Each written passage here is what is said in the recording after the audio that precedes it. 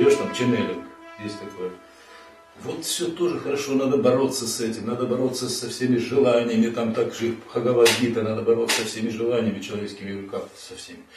Да, надо все погасить, а мое желание к женщине не будет размножаться, ведь если оно вот, а кушать, а пить, а, а дышать, как это все, все, надо отследить ненужные желания, неверные желания, вот это да. А Сократ еще сказал, что настоящее самообладание не есть вот эта внешняя дипломатия, а настоящее самообладание есть внутреннее согласование э, с, как бы, с твоими, вот, то есть ты не, не хочешь ничего лишнего. Я ведь никогда не запрещал себе ни выпить, там ничего. Курение мне, правда, отвалилось сразу, еще до того, как я начинал. А вот потом смотрю, а у меня нет желания. Ребята, пошли, ну, посидим, там, водки выпьем, бильярд, там, на шашлыки, все.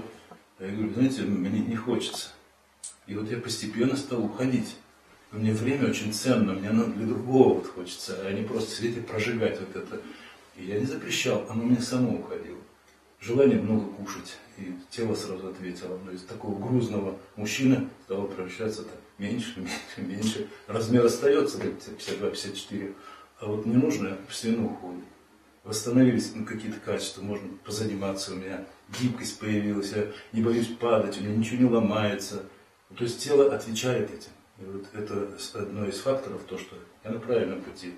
Потому что одно бывает успех, как вот кавалерийская атака, ты получил что-то, э, э, э, а потом смотришь, начинаешь зависать, в чем дело. Значит, я наткнулся на какую-то преграду. И нельзя а, равнодушно к этому относиться. Надо найти, в чем дело, разобраться, значит, поправить свой путь. Туда, оказывается, надо. А то человек линейно мыслит, если так было, доказано, ничего подобного ступень прошел, а следующая ступень требует коррекции определенной. И в этом сильного христианства, что вот оно как раз единственное, что не требует коррекции. Люди ведь начинали со многих э, вариантов. И, как говорится, потом приходили и говорили, а вот, а вот тут полная чаша, а там не полная чаша. Почему я говорю, любой вводящий человека в эту зону, вводящий из материализма, совершает благо, но только там ограничения. Поэтому Иисус когда-то и сказал, что никто, как только через меня, не пробьет вот этот потолок. Почему? Объясняю почему. Это не пустые слова. Тьма настолько сильна сейчас, что пробить вот эту огромную черную глыбу, как, мы, как шахтеры, которых завалило километров 20 породы, и пробить эти 20 километров, ни один экстрасенс, ни один гуру не в состоянии. Почему сменилась ну, вот, плеяда пророков, которые приходили? Это сотворенные существа, я могу даже сейчас нарисовать. А Иисус не сотворенный, сам Бог пришел к нам. То есть, а Бог по силе бесконечен. А первосотворенные, Моисей, там, Кришна и так далее, они конечны. Все сотворенное конечно по силе, а Бог бесконечен. Отсюда те, что пробить вот эту глыбу, нужна бесконечная сила. И не только ее пробить, а держать открытым коридор для людей, чтобы они туда шли, чтобы эта многомиллионная масса тьмы и завалила это все, этот проход. На это способен сейчас только Бог. Поэтому любой вводящий нас в состояние связи не даст вам того, что дает христианство. Вот в чем дело. Поэтому, когда вы открыты Христу, по-настоящему верите в Бога, то тогда у вас шанс есть.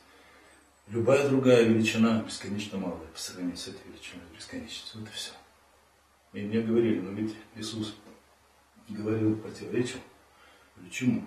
Он сказал, кто не со мной, тот против меня. Значит, он отрицал религии. Ничего подобного. В другом месте он говорит, я пришел не э, нарушить, там, а соблюсти пророки и законы, пророков и законы. А почему это расхождение? Ничего подобного. То есть он, э, скажем, пришел и говорил теми же словами, что и пророки. Просто слово его было много сильнее. Слово это не просто звук. Слово пророка имеет, опять же, ограничения. Слово Божие имеет бесконечную силу. А если вам говорит какой-то человек, даже сильно вооруженный хорошо, энергетика его слова остается в принципе мозг и чувства, астральный мир. Выше он не может идти, он заповеди не выполняет. Мало того, даже если он выполняет заповеди Сироя, это человеческая сила слова. А вот и ракетное топливо получить можно только оттуда. Поэтому сейчас вот этот штурм человеческого сознания начался оттуда. Говорит, если вы хотите выбраться отсюда, беритесь вот за это вперед. Если вы считаете, что есть какие-то другие пути, пожалуйста, идите. Но только Иисус сказал, кто не со мной, тот против меня. Вот и все. Он не был против правды, не был против Моисея, против предшественника, просто он был сильнее, намного сильнее. нарисуем вот эту схему, определим сейчас понятие. Вот бесконечность Творец. Его волей сотворен мир, то есть творение. Творение состоит из первосотворенных духовных, духовный мир. Это мы родом отсюда, я вчера немножко говорил. Сущностное кольцо сил, сущностные, они, скажем так, дышат только вниз. По воле Божией они не имеют свободы выбора. Они передают информацию, передают свет, жизнь. По воле Божией они посредники. Дальше начинается эфирная составляющая. Часть этого эфира нами запачкана, то есть нижний слой. Вот он и называется у магов астрал. По-русски это, в общем-то, чувство, чувственный мир он примерно в 400 раз быстрее, чем следующий. Мир мысли. То есть мозг, мозг оперирует электромагнитными колебаниями С, а тут 400 С.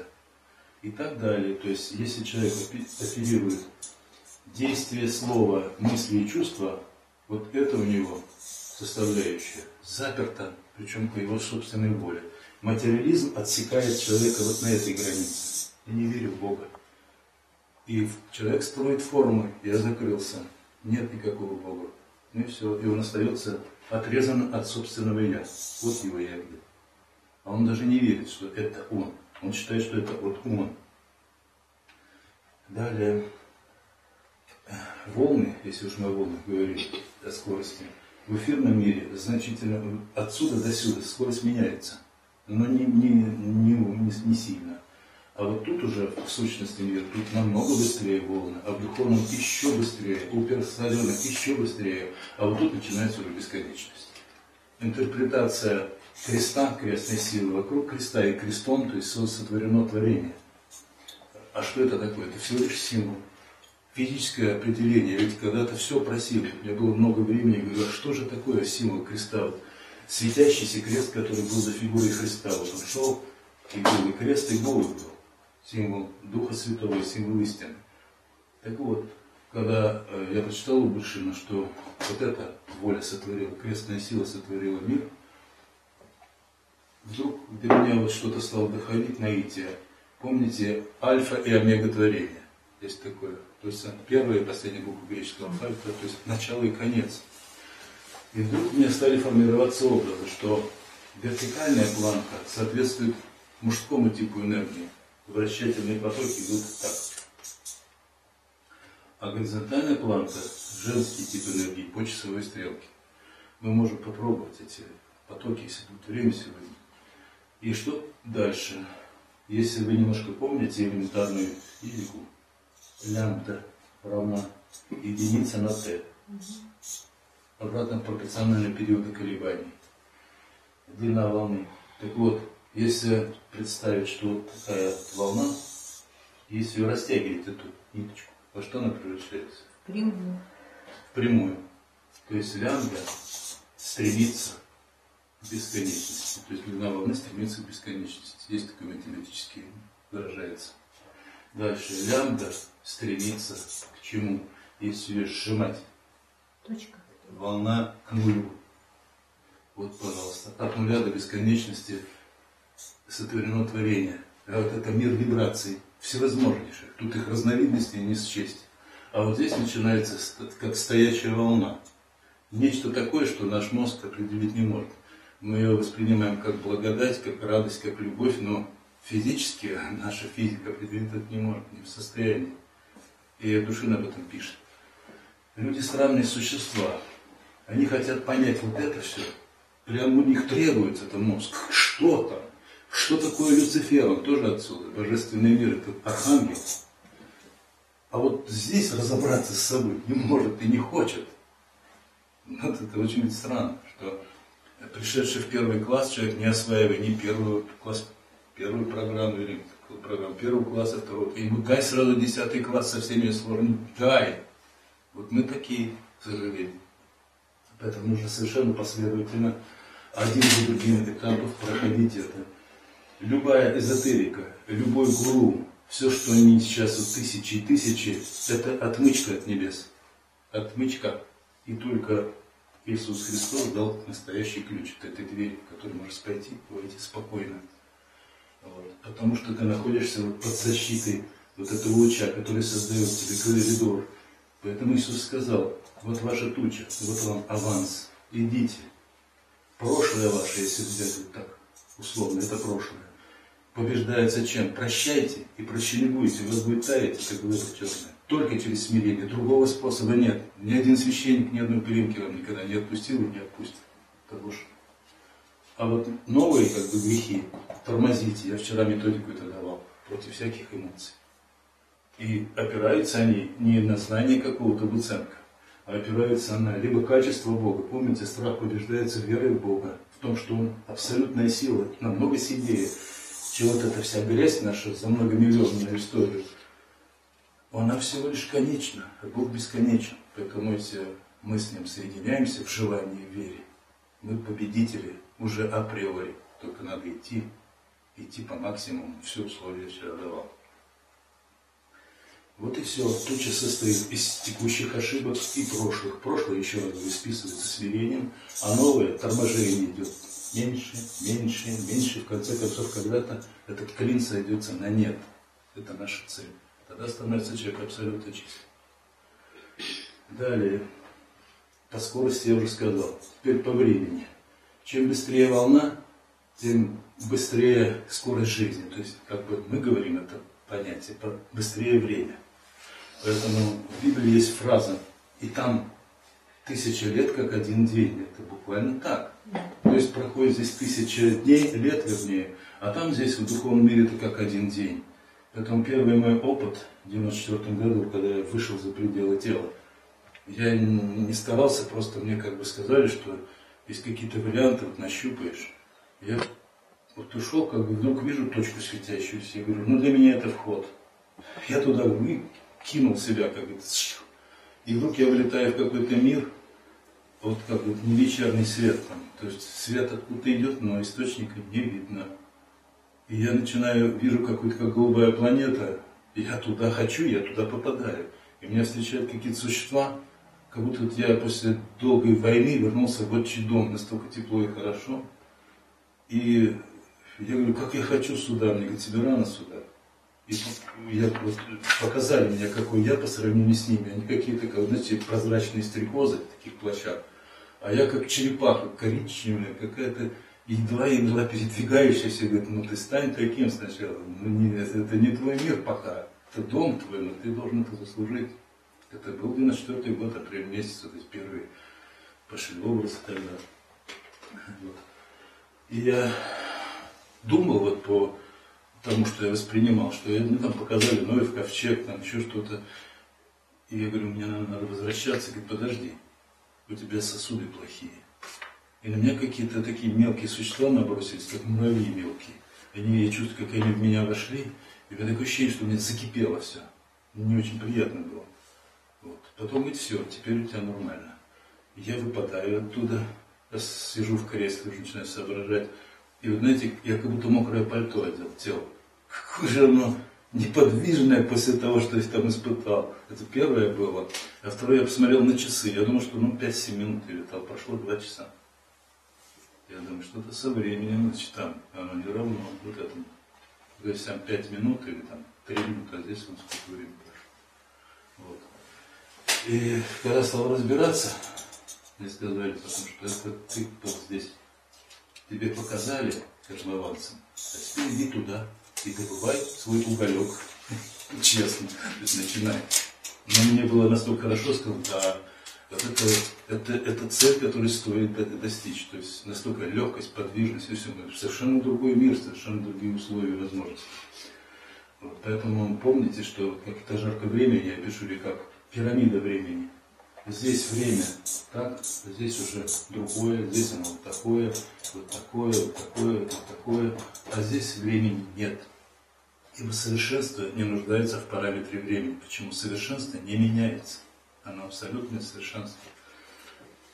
Пространство наделено временем, там, где происходят процессы совершенствования. Это все.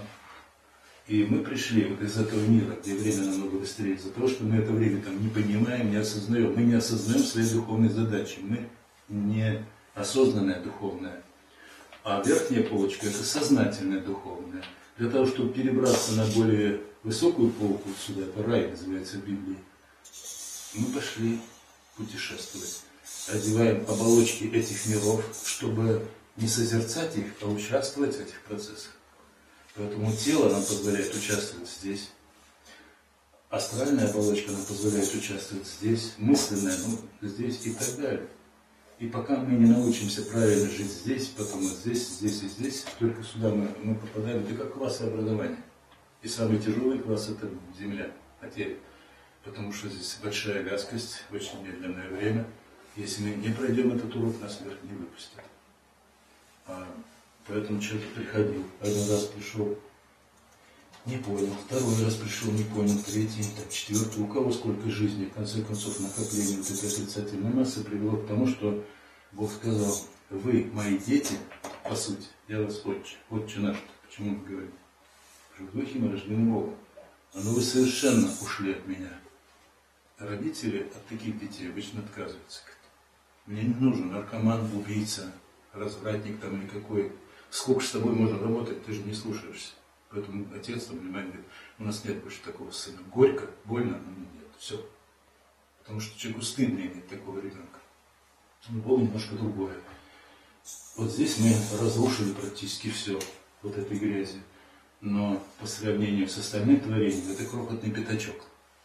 Поэтому сейчас свет вот так окружил эту всю грязь с материей и начинает что? Возвращать в ускоренном режиме всю карму. Я немножко по-другому вчера это рисовал. Помните, да, что на основании одного человека что сеет, то и пожинает. Но если он не хочет в смирении принимать наказание, он начинает воевать с законом. Обида – это война с Богом. Уныние, раздражение, гнев – это все война с Богом. Поэтому, когда людям объяснишь, да, сразу это не освоишь, но проходит период, какой-то человек меньше, меньше, торможение идет. Инерция огромная, это как с бешеной скоростью висящий, несущий состав его сразу не остановишь. Есть тормозной путь. Здесь происходит Но свет неумолимо давит. И вот это все сжимается, и внутри этого котла начинается возврат через войны, через катастрофы. И так, и болезни, и атрофился, кефиром отравился. И в глаз что-то попало, загноение, и все, и началось абсцесс. Там вот у всех вот что-то происходит. Сколько, я не знаю, как здесь, но там, где я живу, люди, ведь мне сотни и сотни людей звонят и окружение, говорят, у нас тут такое происходит, ты не успеваешь, там смотришь, этого похоронили, этот болеет, этот разорился, этот дом сгорел. Что такое с детьми, что творится? Я говорю, потому что пришла пора отвечать, пришла пора собирать карму. Мы их очень долго разбрасывали, всю историю. Теперь, ну, давайте. Либо вы выйдете отсюда, каким образом научите жить по закону, либо мы будем погребены вот этими козлищами и природными какими-то катастрофами. Вот. И по-другому это можно рисовать. Скажем, вот планета Земля. И вот свет ее сейчас так охватил и говорит, выходите отсюда. А, а свет предлагает определенный ритм. Я вчера говорил о максимуме. Вот свет работает по максимуму. Именно этот максимум мы должны достичь. Каждый свой максимум. Потому что после чистки этой грязи планета начинает возвращаться на круги свои, а по вибрациям, я говорю, нет, это не какая-то генетическая высота. Меняется вибрация, и мы начинаем приближаться к свету. Но грязь не подобна свету. Наконец, Земля будет очищена от мрака и вернется в свое первозданное состояние, как до грехопадения. Но на ней останутся только люди, которые соответствуют этой энергетике, то есть чистые. Вот в чем дело. Поэтому либо мы будем успевать за графиком света, либо свет нас отринет. Это неизбежно. Это жесткое, конечно, жесткий вариант, но другого Бога, это, у меня другого выхода нет. Потому что диалог с вами я вел миллионы лет через пророка. И ни разу вы не пошли за ним. Ни разу. Потому что тут же проходимцы делают из религии э, свои варианты, растаскивают. И... А люди им верят. Почему вы им верите?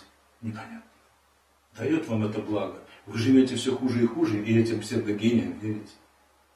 А попробуйте научиться Ищите и обрящите, все это сказано. Немножко вот с тем местом, где мы живем, понятно, да, взаимодействие вот этих миров. Мы представлены как суперамфибии. Мы эти, эти, эти, эти, эти, эти.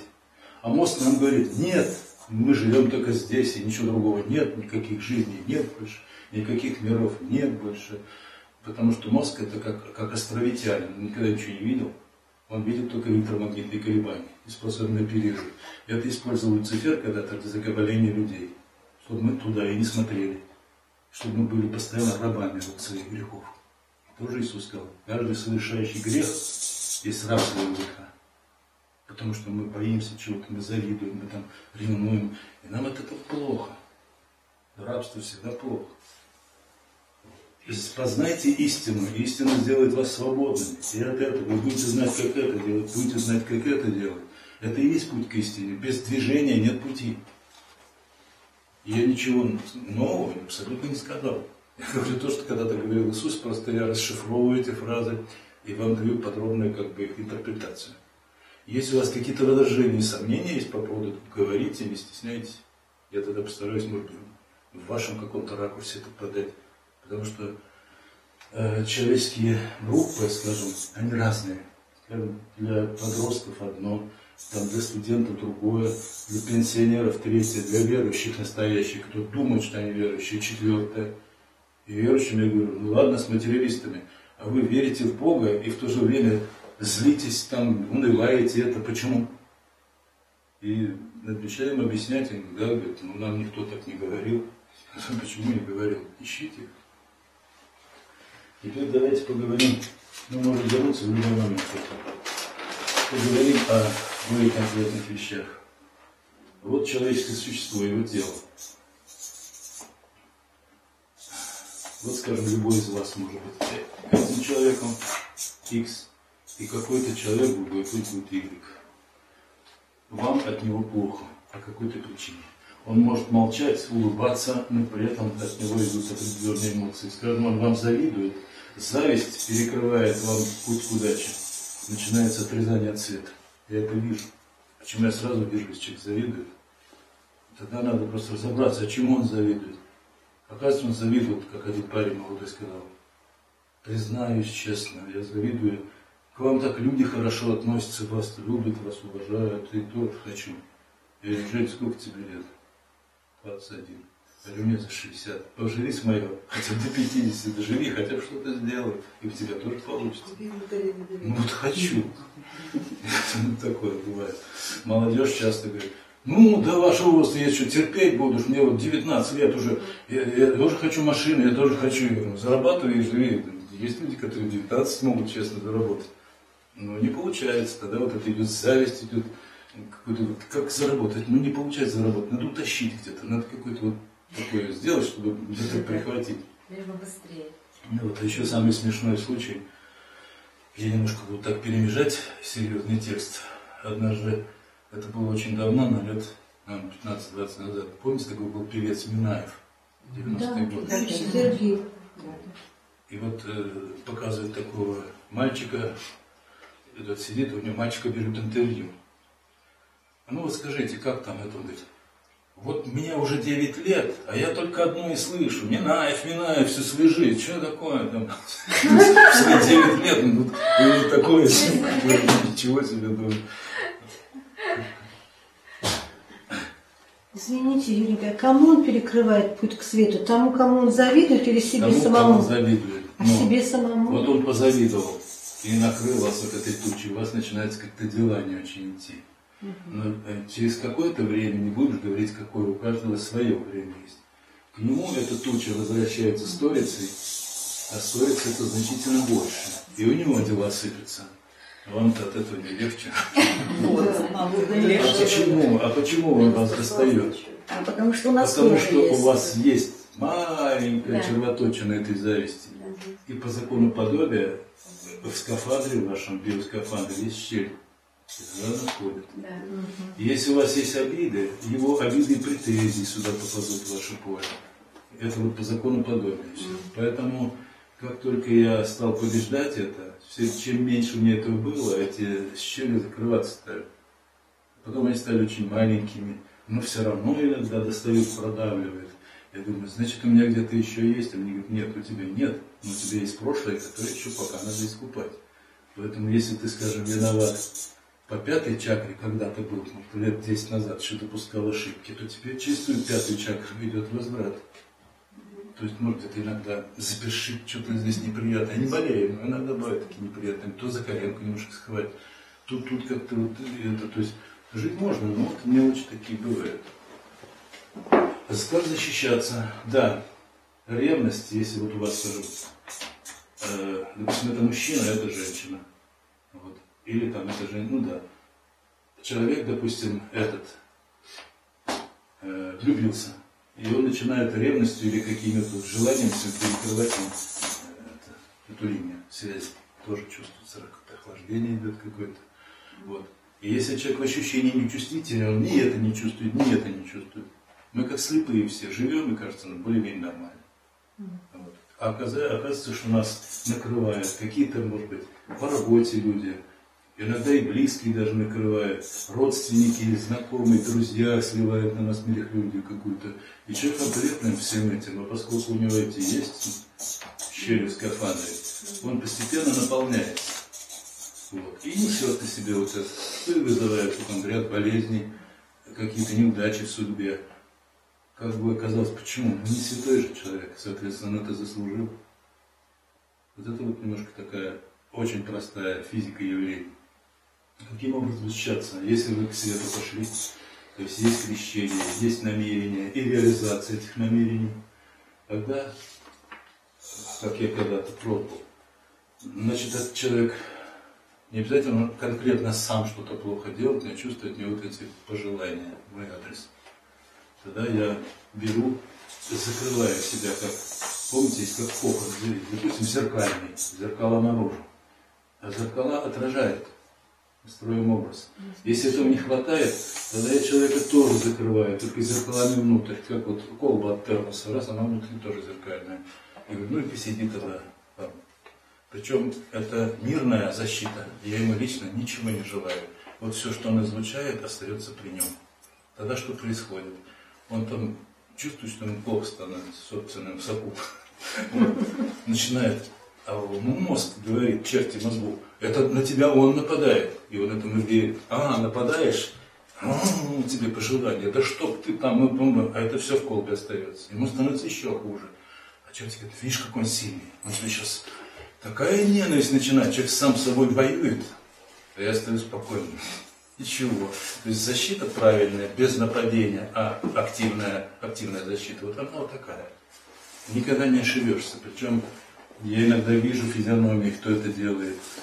А, э, чтобы не ошибиться, я всегда говорю, иди по обратному источнику. Допустим, если э, грамотные люди, экстрасенсы, они со мной воюют, там руководители школ есть такие, целыми школами нападают. Вот вижу, что они клюку развешивают, то есть маски людей, иногда моих близких даже, я знаю, что это не так. Тогда начинается как вот капусту, слой за слоем, раз, раз, я все равно раз доберусь. Вот где. Закрыл и все. И такое успокоение начинается. То есть это фактически война. Это война между светом и тьмой. И мы должны быть сильнее тьмы. Но сильнее будем только если будем обучены, кстати. Вести. Теперь о формах, если мы говорим. Это была самая первая форма, которую я применил. Через 2-3 дня эта форма не сработала. Я спросил, почему? Мне говорят, нельзя одной и той же формой пользоваться, нужно менять. И тогда я там что только не применял. И варил в кастрюле, и ракетами бомбил, и что только не делал. Все, что у меня было в запасе, не хватает ведь. Это очень часто нужно менять. Стал вспоминать фантастику и там и «Звездные войны», и мультфильмы. Потом думаю, чем меня тянет эти боевики смотреть, эти вот там Рэмбо, там, что за... Мне, оказывается, вот эта ассоциативная кора мозга начинает это записывать. И потом я применяю. Думаю, вот хорошо. Сижу, посмотрю, так минут 10-15, мне хватит. А вот тут что-то новое, а вот это еще новое. Сам изобретаю, комбинирую, и вот так вот все время ты идешь. Мне когда-то казалось, давно-давно, что это невозможно. Ну сколько же можно изобретать? А потом постепенно я к этому привык. И получается, это нормальный ритм духовного человека, что мы должны уметь быть талантливее, быстрее тьмы. На каждое, скажем, нападение тьмы я должен готов. У меня одна, две, три в запасе. Ну, варианты эти. Вот. Ну, э, по этому поводу есть какие-то вопросы? Да, вы вот видите, кто на вас нападает, а мы-то не видим. А я вам Нам сказал, плохо. иди по обратному. Вот представьте, вы, допустим, не знаете имя, даже не знаете, откуда это идет. И скажите, вот некто X на меня нападает, и я ему отправляю все обратно. Но при этом постарайтесь на него не обижаться, не злиться, не бояться. Как это без страха упрека. Только тогда будет. На вашей стороне тогда будет свет, потому что вы на этого человека не навешиваете тьму. И в таком случае свет на вашей стороне начинает, начинает помогать вам экранировать нападение и отбрасывать, и возвращать им. Эти нападения можно перевести как э, проблемы в жизни, если где-то конфликт с кем-то или еще чего-то. Вот это называется вот это нападение. То есть Ну, всегда. нападение Это что плохо. такое? Мир сейчас агрессивен, очень, люди. Им куда-то, вот, э, скажем так, идет человек по улице, если он на кого-то начнет, ну, могут это, его могут и побить. Вот, и поэтому в основном разрядка происходит с близкими. Потому что здесь безответные существа, что хочу, то и делаю. Это, к сожалению, недаром ведь Иисус назвал близкие пользы враги человеческого домашнего его. Почему? Я никак не мог понять. Почему враги человека домашнего? Потому что я могу уволиться с этой работы, перейти на другую. Я могу против постороннего человека выстроить целый там, кордон из защиты, и он меня доставать не сможет. А куда ж ты дома денешься? Я не буду дома воевать с близкими. У меня нет на них оружия. Остается только терпеть. И вот постепенно, постепенно ты как бы, вот знаете, как болячка заживает, она уже как коркой покрывается, и постепенно ты перестаешь на это реагировать. Потому что душу я что тоже близкие больше чувствую. Потому что первое, как я вернул, и человек начинает болеть. И помоги мне, ты же можешь. Я начинаю лечить, через 10 минут опять атака. И вот ему объясняю, в чем дело, а человек не, не может, не держится, потому что он в это не верит. А следовательно, вот, если, допустим, я двигаюсь, а мной человек не двигается, а тьма его всегда будет использовать как атаку против меня, ничего не сделаешь. Это когда-то Иисус отследил и сказал, враги человека домашнего. Очень тяжелый фронт, самый тяжелый это домашний. Даже морально тяжело, потому что привыкаешь, что человек близкий, а получается так. Какие еще вопросы? крещение. А? Крещение вчера. Ну, в смысле, суть крещения? Ну да, вот как вы здесь, вы говорите, что вы это можете делать. Или Но можете... сейчас мы этим не будем пока заниматься. Это потом, если кто-то твердо решит, мы, как говорится, на это обратим внимание. Сейчас Евгений мы занимаемся теорией. Да. так Мне сегодня э, жестко показали, что я, наверное, не совсем поняла, что вы имеете в виду под духовностью. Под духовностью, э, э, Давайте поговорим о духовности и вот разнице между духом и душой. Как вы это Хорошо. видите? Вот возвращаемся к этой картине. Она нам ну, Э, помните, Святой Дух, да? Воля Божия, Святой Дух. Название другое, Эммануил. Эммануил переводится с еврейского, по-моему, с нами Бог. А почему Святой Дух с нами? Потому что Дух Святой породил Дух человеческий, это линия. Поэтому это наша отчая линия. Поэтому всегда в Духе с нами Бог, и мы с нами. Это не значит, что мы боги, мы эманация этого луча. Э, А форма есть проявленная в материи эманации, материи в творении. Вот это не всегда сразу укладывается.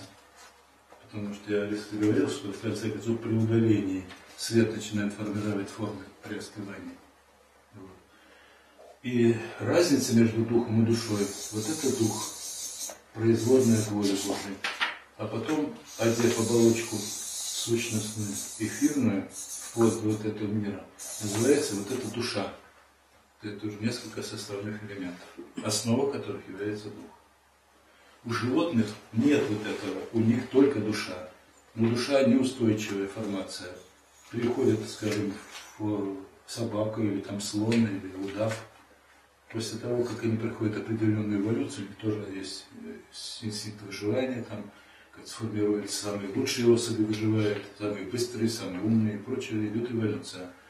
При, когда умирает или погибает зверь какой-то, его душа как бы из частей, она идет туда по каким-то подобным признакам и начинает потом получать уже не целое, а как бы эти фрагменты лепят, чтобы еще опять сюда идут. То есть там немножко процесс не совсем непонятный, но не стал туда углубляться, потому что мне не столь интересно. И время это не хочу. Душин там описывает это. Я говорю, ну, у меня для передачи вам чего-то это надо сами почитать. Поэтому разница между духом и душой. Вот наш дух, а вот это наша душа. До астрала, да? До астрала, да. Ну, можно сказать, души. что э, вот астраль, астральная оболочка – это как муфта сцепления между душой и телом. Знаете, да, что это переходное состояние. Поэтому астральное тело у людей такое, как они чувствуют. Если человек злобный, завистливый и так далее, практически у него копыта и, и хвост появляется уже. Астральная оболочка у него такая. Поэтому впервые в 94 году, в самом начале, и когда я это... ну, мне сказали, что ты должен победить страх, это главное для начала. Потому что дальше будет очень тяжело, если ты будешь бояться, ты ни шага не сделаешь. И меня с апреля, с начала апреля 94 года страх улегся где-то вот к концу апреля. То есть за месяц я его уничтожил. Удалось. Через веру, потому что мне даже показали такой цветок вдруг растет, красивый, как, знаете, с подсветкой розы. Белая, с легким розовым таким оттенком. И в ней барахтается маленький ребеночек голый. Я такой, что это такое? Мне говорят, это рождение твоей веры, ты поверил по-настоящему. Вот. Потом умер страх. А когда он умер, мне впервые открылся потусторонний мир. Я вчера рассказывал, как вокруг меня крутились, не давали спать. Вот. Потом, значит, э, еще что-то происходило. И когда это стал видеть, я стал иногда видеть людей, как спонтанно, неожиданно идет человек, нормальный, смотришь в шляпе, с портфелем, в галстуке. И вдруг потусторонняя вот форма его астрала, он мохнатый, у него там буквально как копыта, как чуть не рожки там, потому что он такой, вот на его внутренний мир такой. Он уже полный набит этой чертовщиной всей. Мы сами лепим. А внешне он может выглядеть А внешне он выглядит нормально, он может быть умный, там, интеллектуальный даже и все. Но вот у него жесткий эгоист, завистливый, там и то, и то, и то, и в сумме это вот такие вещи дает. И когда я начал это хор- хорошо видеть все, мне настолько стало тяжело, то есть ощущение, что вот, вот это все рядом, я думаю, как же я работать-то буду, мне же не работать надо. Я попросил, закройте, я не хочу это видеть. Это, это невероятно тяжело, потому что когда ты не видишь, это еще одно, а когда видишь, это совсем другое. И поэтому, как меня закрыли, я говорю, как попугай под чехлом. Мне надо что-то сделать. Как раз высунулся, посмотрел, сделал. Я опять под чехол, не хочу это видеть. Поэтому иногда вот э, ребята говорят, ну, ну когда же мы видеть будем? Когда? Я говорю, головастики спешат превратиться в лягушат. Подождите, говорю. Сначала вот страх. Есть у кого-то э, такая твердая уверенность, что страха нет? Есть? Нет. Нет. Тогда выпускать вас нельзя. Пока страх. Поэтому человек говорит, у меня вроде его нет. А его начинает судьба проверять. Он ой, ой, ой, ой, сразу. Я говорю, понимаете, вам кажется это. И мозг вам говорит, да мы ничего не боимся. Мы абсолютно верим. Ну, вот этот отчет идет чертей за, за то, что обслуживает нашу лень. А мы должны этому верить. Сама жизнь нам говорит, что мы далеко не совершенны. Пока наши болячки, пока какие-то неудачи, постепенно, постепенно, если вы формируете туда и цели, и направление, тогда у вас начинает складываться немножко другая жизнь. Значит, понятно по духу и душе, да? Немножечко еще, вот вы сказали, в астрале находятся наши негативные эмоции, уныние, раздражение. Там и А- позитивные тоже. Вот хотела спросить о позитивных, где они там тоже. А вот если негативные разрушают клетку, как 400С, что делают позитивные с нашими клетками? Они в какой-то степени компенсируют. То есть это ваши весы. Помните, в Библии есть, ты будешь взвешен, и если найдешь быть легким, значит не пройдешь. То есть пустышка. Э, Спешите делать добро. То есть добро настоящее искренне компенсирует ваши какие-то прошлые убытки. И мне тоже сказали, как быстрее искупить. Спеши делать добро. Или как его делать добро? Оно тебя само найдет. И поэтому меня спрашивают, заповеди выполняете, скажем, вот, ну, третью, вы, вы должны не работать в воскресенье, как христианин. Я говорю, вы неправильно понимаете эту заповедь. Заповедь о чем говорит? Что мы должны оторваться от добычи хлеба насущного и хотя бы один день посвятить духу, чтобы вот работа нам не мешала. Чтобы мы посидели, размышляли, кто я перед Господом, что я плохого делаю, не мешаю ли я кому-то жить, каким образом поступить так и так, найти эту дорогу. Вот вы что, там хоть один день в неделю оторвитесь. А я говорю, а у меня каждый день с утра до вечера посвящен этому. Я эту заповедь выполняю. Я делаю все, что могу в этом отношении. Вот, потому что очень расхожее мнение, мне некогда, я работаю, мне некогда духовностью заниматься. Я вот прихожу иногда, только душину почитаю немножко, и говорю, а что вы передо мной отчитываетесь? А душину почитать это неплохо, но сама книга по себе без вашего личного участия и воли, и терпения, и веры ничего не даст вам. Потому что духовность, она с нами круглосуточно. Если вы на работе поступаете в каком-то конкретном эпизоде правильно, вместо обиды вы находите решение правильное, вместо страха решение правильное, тем самым в каждом новом эпизоде вы ведете себя правильнее, чем раньше. Это уже путь. А вы говорите, работы некогда. Это и есть, мы круглосуточно находимся в этом режиме, в этом, в этом процессе. Как это можно так говорить, у меня работа там, а дома я могу духовностью 8 минут заняться. Так не бывает. И дома надо отработать правильную позицию, уметь не обижаться, уметь на любую, любой выпад э, находить иронию, потому что у меня тоже этот опыт появился, когда, о, да, да, да, мне такой, вот ты такой жизнь изуродовал, меня, что ты меня выбрал-то? Давай я сейчас уйду, если уж так плохо тебе. Нет. Я говорю, я вспоминаю сразу тот самый Мюнхгаузен, помните? Ясно, что, что говорит. Ворона кроет. процесс. Что хочет. Ну, ясно, чтобы не бросал. А, ну, да, нет, просто, да, когда он спрашивает, что, что хочет. Ну, чтобы не ушел. А у души что есть? У нее нет чувств негативных. Или у души, вот выше астрала, Она душа. Астрала, душа. Вот я, например, слышала в индийской... Нет, чу, нет чувств. Чувства, они, скажем так, здесь только ощущения. И ощущение очень богатое, скажем, возможность воспринимать мир, намного богаче, чем рассудок. Рассудок только в этом медленном времени. Это инструмент, который оперирует только мигом между прошлым и настоящим. Все. То есть сознание? Ну да, дневное наше сознание. Угу. А уже астральная оболочка способна вот по этому времени ходить уже по-другому. Она может выйти и вперед, и назад. То есть и в будущее влезть, и в прошлое. Вот поэтому гадалки там и все, кто этим занимается, если они не шарлатаны, они могут вам и кое-что предсказать, и влезть в прошлое, сказать, что там было, потому что их обслуживает тьма. Почему? Чтобы вы открылись, и при том, когда вы открываетесь, вы получаете вот эти матрицы, которые вас закабаляют на потустороннем уровне. Вы потом можете даже не услышать вот этот призыв. Вам не дадут эти черти, которые вы пустили в свой огород. Вот в чем опасны вот эти все вещи. И в этом, конечно, церковь права, что рассуждается момент. Евгений Николаевич, кажется, в индийской философии я слышала выражение привязанность души. Как бы вы это объяснили? Ну, давайте мы не будем их упоминать. Ведь есть ну, нам, нам своих ну, Вот то, что я тоже когда-то немножко увлекся, почитал там, э, как они боролись, называется вот это э, сумбур в мозге, они называют викшита. То есть человек не может остановить э, этот, этот, хаос в мозгу. Mm-hmm. Пока, говорит, не приведет человек в мозг к науне, это через созерцание идут. Ведь представляете, если мы все, ну только я говорю Россия, все россияне сядем под баобаб, у нас их нет, значит, под елочку, и будем созерцать. Кто же нас будет кормить, топить, там, коммуналку нашу, хлеб печь, там, и что такое, ну, вообще, кто работать будет. Так я с кришнаитами спорил. Говорю, это что же, мы будем подпрыгивать и кричать «Ом», обреемся наголо, желтые халатики, и в этом ваш выход.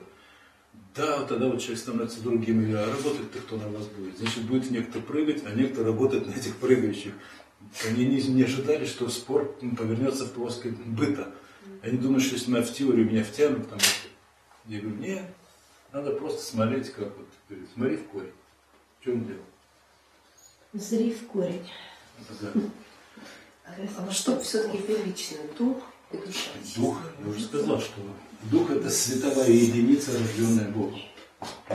Здесь. А, а потом для путешествия нам понадобились оболочки, потому что соприкасаться с этим миром и активно участвовать в процессах этих миров мы можем только благодаря оболочкам. Нет тела, как мы можем тут что-то делать? Так тогда получается, это дух вечен, а душа?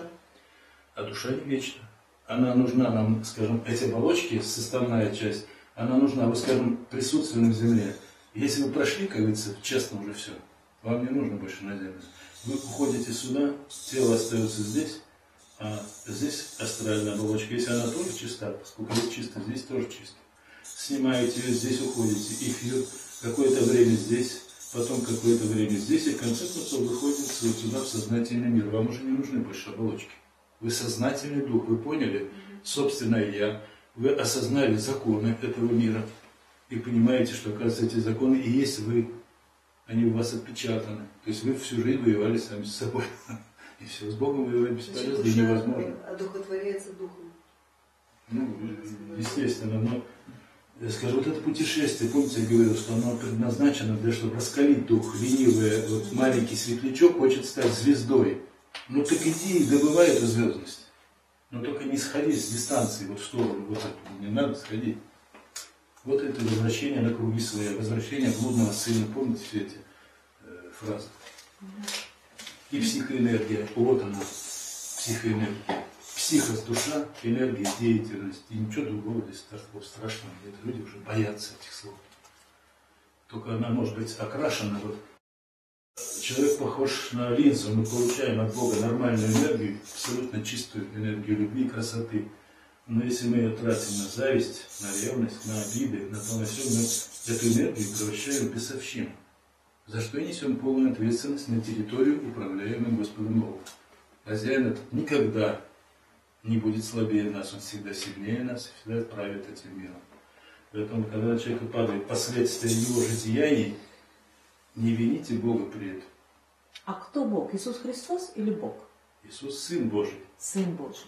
Он был... Мы его знаем как Иешуа из Назарета, которого видели в теле когда-то его современники.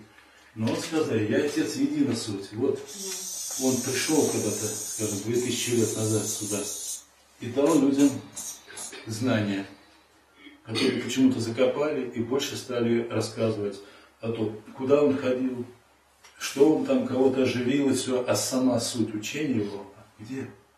Ее нету. Вот таким образом тьма постепенно через псевдосвященников, через псевдоцерковь расправилась с последствиями прихода Христа. Отсюда само это явление, Иисус когда-то сказал, я от вас ухожу, миру более не явлюсь, но молюсь дать вам другого утешителя. Он придет и наставит вас на всякую истину, расскажет правду обо мне, о суде и о вере, о вере, что вы не веруете в меня, о том, что князь мира всего осужден, о том, что я более миру не явлюсь. Он дважды в Библии, вот в Евангелии от Иоанна говорит, что он больше не придет. И самой, сами его слова, и что суть второго пришествия, зачем оно нужно? Если у нас церковь была права, то зачем тогда второе пришествие? Она нас бы готовила все эти две тысячи лет, и мы всплывали сейчас в такой радости и здоровье, у нас ничего такого не было на земле. Сама ситуация на земле говорит, что все вот эти конфессии провалили дело, потому что они сами уже запачканы настолько. Они, конечно, разные все, если людской состав брать, если прекрасные люди, их не так много. И середняки, которые, ну, работают, ну, вроде они неплохие, честные, но они должны что делать? Они должны людей готовить к этому процессу. Ведь Земля сейчас скоро катарсису подвергнется.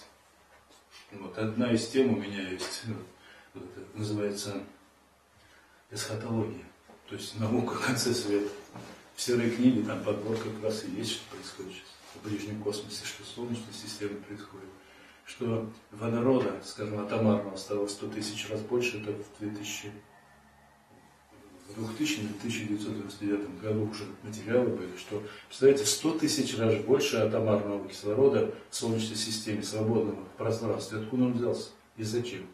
Поэтому от Солнца идет сумасшедшее электромагнит, это ультрафиолетовое излучение, и эта подушка водородная, это сдерживает, чтобы мы сейчас не угорели все. Она нас еще и защищает. А потом этот свободный водород начинает входить через кас по Земле, это магнитные полюса, и формировать на Земле все больше и больше возможностей создать воду. Чему мы готовимся? К потопу, это же водообразующий фактор. Я не знаю, как, что будет. Солнце ли э, будет доминировать в этом процессе, или вода, а может и то, и другое, я не знаю потому что ни сценария я не вижу, и точного срока не вижу, потому что мне и не дано это знать. Библия говорит, только Отец знает день и час. А Иисус сказал, когда вы увидите глад и мор, любой влияние слухи, да еще будет проповедное Евангелие Царствия, а вон оно, зеленое, пришло. Вот. Тогда и будет конец. Следовательно, вот оно будет привлечено всему миру. В том числе вот сейчас оно в Европе, несмотря на то, что оно было здесь давно, еще в 30-х годах, и сам автор, еще будучи живой, он, по-моему, в 1941 году умер, он говорит, что обо мне такие легенды, говорит. Я, говорит, сижу в этих рудные горы, Тироль. Он говорит, мне говорит, что какой-то там этот заперся в своем замке, у него там привидение, вот такую лапшу на, говорит, посредством массовой информации. Потому что тьма пыталась вот, а, от, отделить людей от правды. И поэтому, несмотря, вот тут получилось э, тот фонд Грааля, как называем, в Штутгарте, они приехали к нам в Россию, в том числе, и в другие страны ездили, по-моему, в Чехословакии они были, знали. Вот, и, и из Швейцарии какой-то Хаусхофер, что я уже не помню, как фамилия. В 98 году, по-моему, приехали в Москву, и женщина одна мне говорила, Николаевич, вы хотите креститься? Я говорю, каким образом? Она говорит, вот приехали эти люди, вы должны, если хотите креститься, прийти во всем белом. Белые брюки, белый плащ, белая шляпа. Говорю, ух, здорово. А сам я могу быть черным, да? Такой плащ, белый плащ надо достать. Могу как в синкоме халат стащить. Ну откуда белый плащ? С какими, чувствами, с какими чувствами относиться к этой информации? По идее, это абсолютно такая устрашающая негативная информация. Сейчас мы поговорим об этом. Вот этот э, приехал очень такой импозантный, не то немец, не то швейцарец, какой красивый мужчина лет под 60 стройный такой все. И нам наизусть прочел, по-моему, две главы из Адушина. Была переводчица Лена Шиллинг, не помню фамилия. И знаете, как это тускло выглядело, когда человек говорит на одном языке, а равнодушный переводчик переводит. И смотрю, все люди начали засыпать. Так географическое общество в Москве. Вот и смотрю, уже некоторые где ближе к двери стали потихоньку смываться. А потом кто сказал, подождите, сейчас Луценко расскажет вам там все. Вот, время остались, а потом, когда я стал выступать, мне час дали. Ну, я так вот все это начал рассказывать. Я говорю, что невозможно э, одному мозгу, читая книгу, передать на мозговом уровне другому информацию, которая совершенно не для мозга, она для души. Ведь передача информации идет. Обновлю картинку.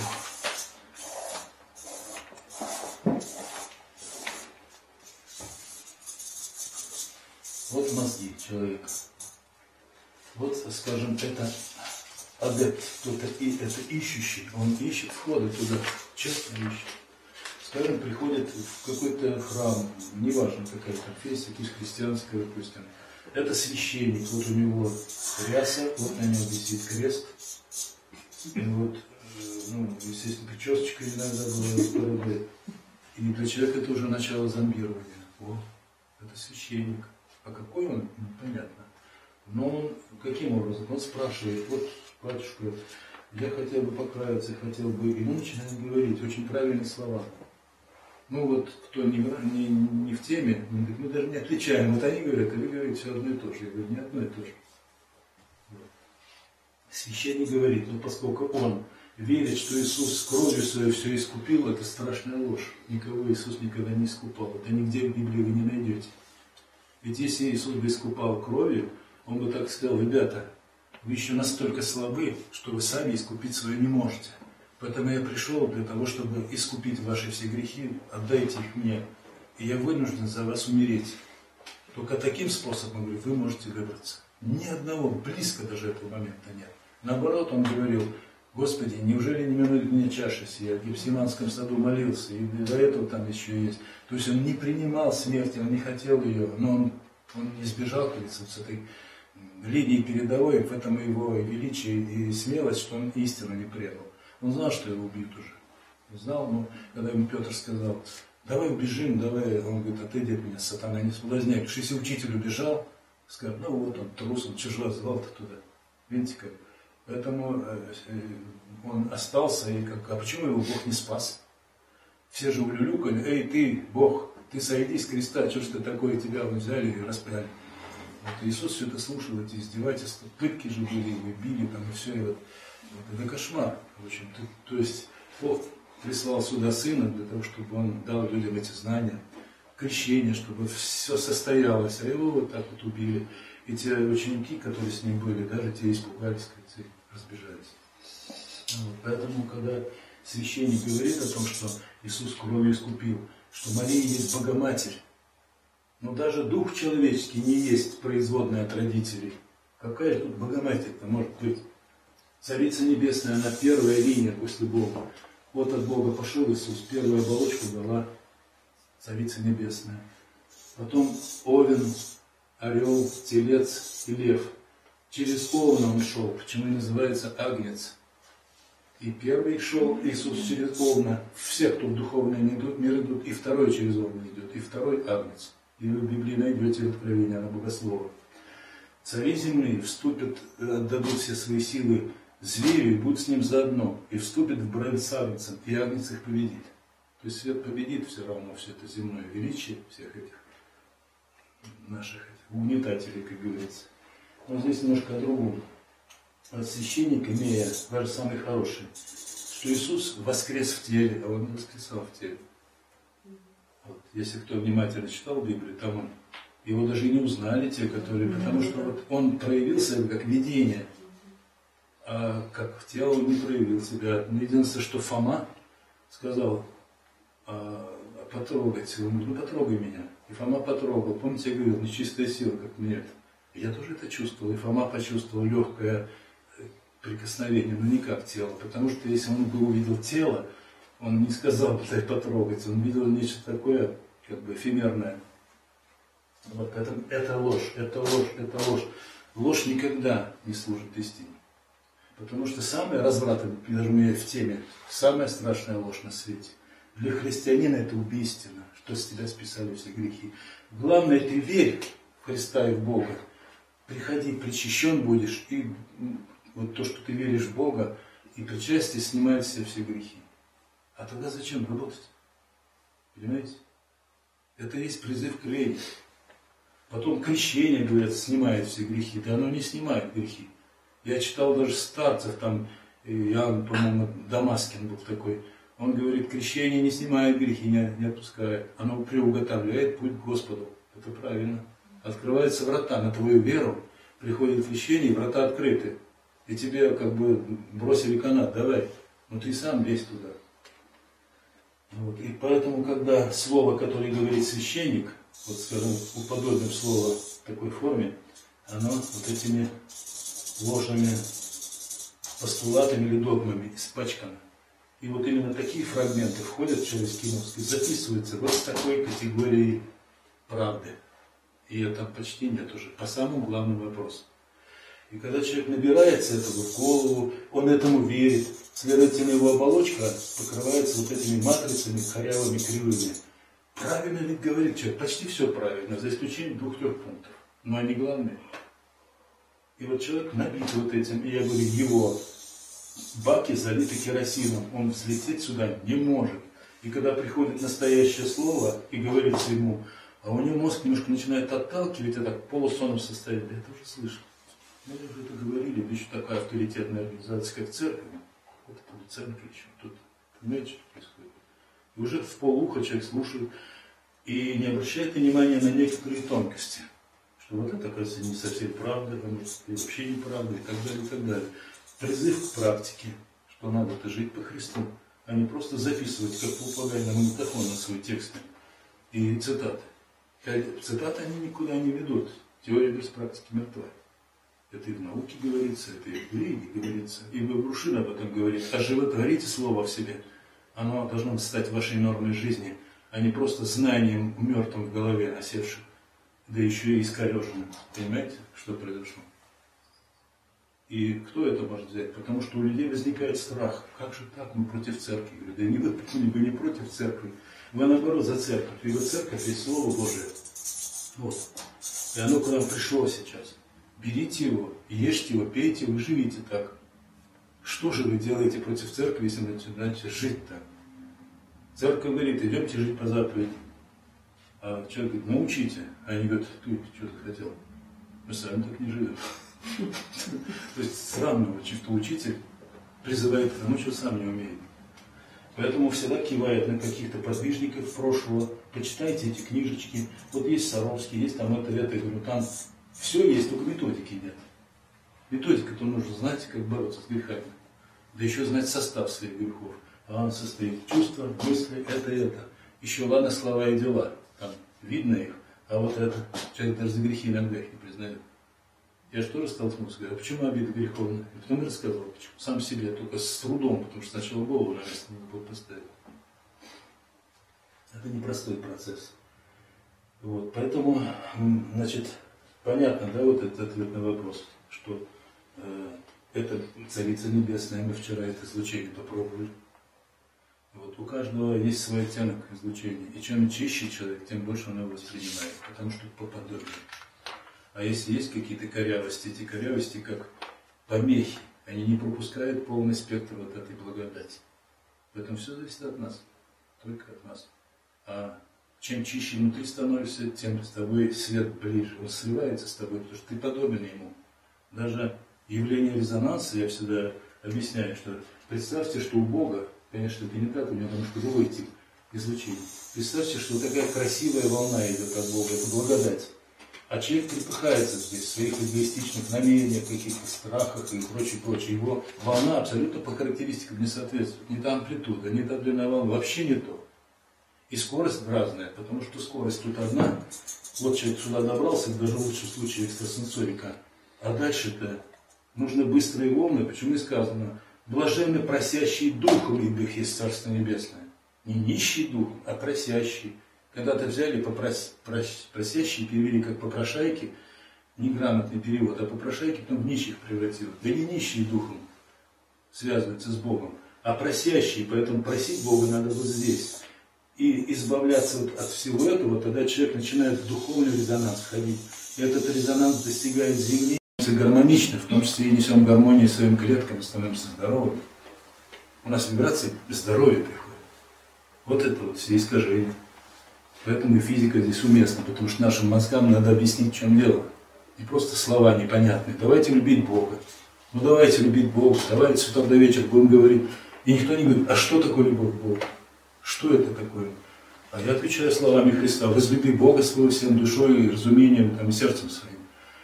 Если любите меня, выполните мои заповеди, я подчеркиваю. Если любите меня, выполните мои заповеди, сказал Иисус. Кто их не выполняет, меня не любит. Выполняете вы заповеди? Наверное, нет. Выполняют люди, которые призывают любить Бога, эти заповеди? Нет. А сказано, если кто говорит, что познал Его, с большой буквы, но заповеди не выполняет, тот лжец и нет в нем истины. Библия. Кому верить? Какие вопросы еще есть? Пока картинка здесь. А, вот вы говорите, Фома не поверил, да? Но он же, помните, сказал, пока не увижу следов от гвоздей, от копья. Иисус забрал рубаху, показал. Как же это? А он же мог это сделать. На нем все было. Представляете, если вот он умерший, э, тело ходил, как он, у него кровь уже, собственно, остановилась и, э, как скажем, уже ну, высохла. Она кристаллизует уже все. И каким образом такое существо могло ходить? Это нарушение всех законов физики и биологии. А ведь я сколько раз говорил в ученых кругах, что все, что вы называете константами и законами физики или химии, это всего лишь частный случай законов Божьих, поэтому так незыблемы и гармоничны. Поэтому, опираясь на эти константы, вы выводы правильные делаете. Не вы же эту науку создавали, не вы создавали константу, и в зависимости гравитации и прочего, кто это сделал. Это, говорит, был какой-то взрыв. А или вы построите авиационный завод при помощи взрыва, или что-то хорошее вы не построите. Взрыв – это уничтожение. Вы считаете, что Бог взял так взорвал, но что мы так хорошо начали жить на земле. Ну, какие взрывы интересные. Другой вопрос, что вот акт творения был, но это отдельный вопрос. Просто я не хочу в эти дебри уходить. В трехтомнике его сейчас рассказать невозможно. Там все понемножку есть. И о том, что такое солнце, о том, в зависимости, что происходит. Он говорит, я вам даю эти знания, потому что вы долго будете копаться. Вот вам примерно вертикаль, потому что по вертикали вы никогда не ходили правильно. И попробуйте хотя бы разобраться с собой и победить грехи. Если вы их победите, у вас ну, такие горизонты откроются, у вас познавательная система откроется совершенно иного типа. В тысячи раз богаче, чем мозг. Попробуйте до этого дойти, потом вы будете ни от кого независимы, вы и, и все, и ваш Бог. Больше ничего не может. Так, что еще мы Я задавала вопрос, как, с какими чувствами относиться к, э, информации, что А, какие катастрофы. Да, значит, смотрите, конец света это неправильный термин. Конец веков называется в Библии. Раз. Конец веков, значит, конец определенной эпохи. Свет никогда здесь не кончится. Следовательно, жизнь будет продолжаться. Единственное, что откровение Анна Богослова нам говорит о том, что будет какая-то смена формации. Помните, Амос говорил, что передний мост такой, задний вот такой. Чтобы изменить опять и привести человека, что он не задний мост должен прекрасно принимать опять. Откровение, так называемое, не медитация. Медитация ведет сюда, откровение ведет сюда связь. Э, Человек должен, скажем так, потерять тело и приобрести новое с формированием правильного мозга. Следовательно, как и пишет Иоанн Богослов, Иоанн, который дал нам апокалипсис, он говорит, что вначале будет смерть первая. Помните такая фраза? Блажен, блаженны те, которые воскреснут к новому бытию. То есть какой-то вал пройдет, и те люди, которые имеют право на будущее, нормальные, честные, которые пошли, они там вынырнут, как говорится, и начнут, э, дадут закваску новому миру. То есть это будет то население, которое будет, размножаясь, жить по, постараться по закону. А для того, чтобы не произошло больше вот такого, как происходило, сколько бы к нам не приходили пророки, мы всегда кончали плохо. Отсюда меняются условия. Вместо того, воля человеческая правила на земле, воля Божья, она нам позволяла быть самостоятельными в определенных рамках. А теперь у человека отнимается это право, и на земле будет тысячелетнее Царство Божие, то есть правление воли Божьей, это жесткое правление. Потому что говорит, вы без строгого начала не можете стать людьми. Поэтому вам пойдет помощь в таком суровом варианте.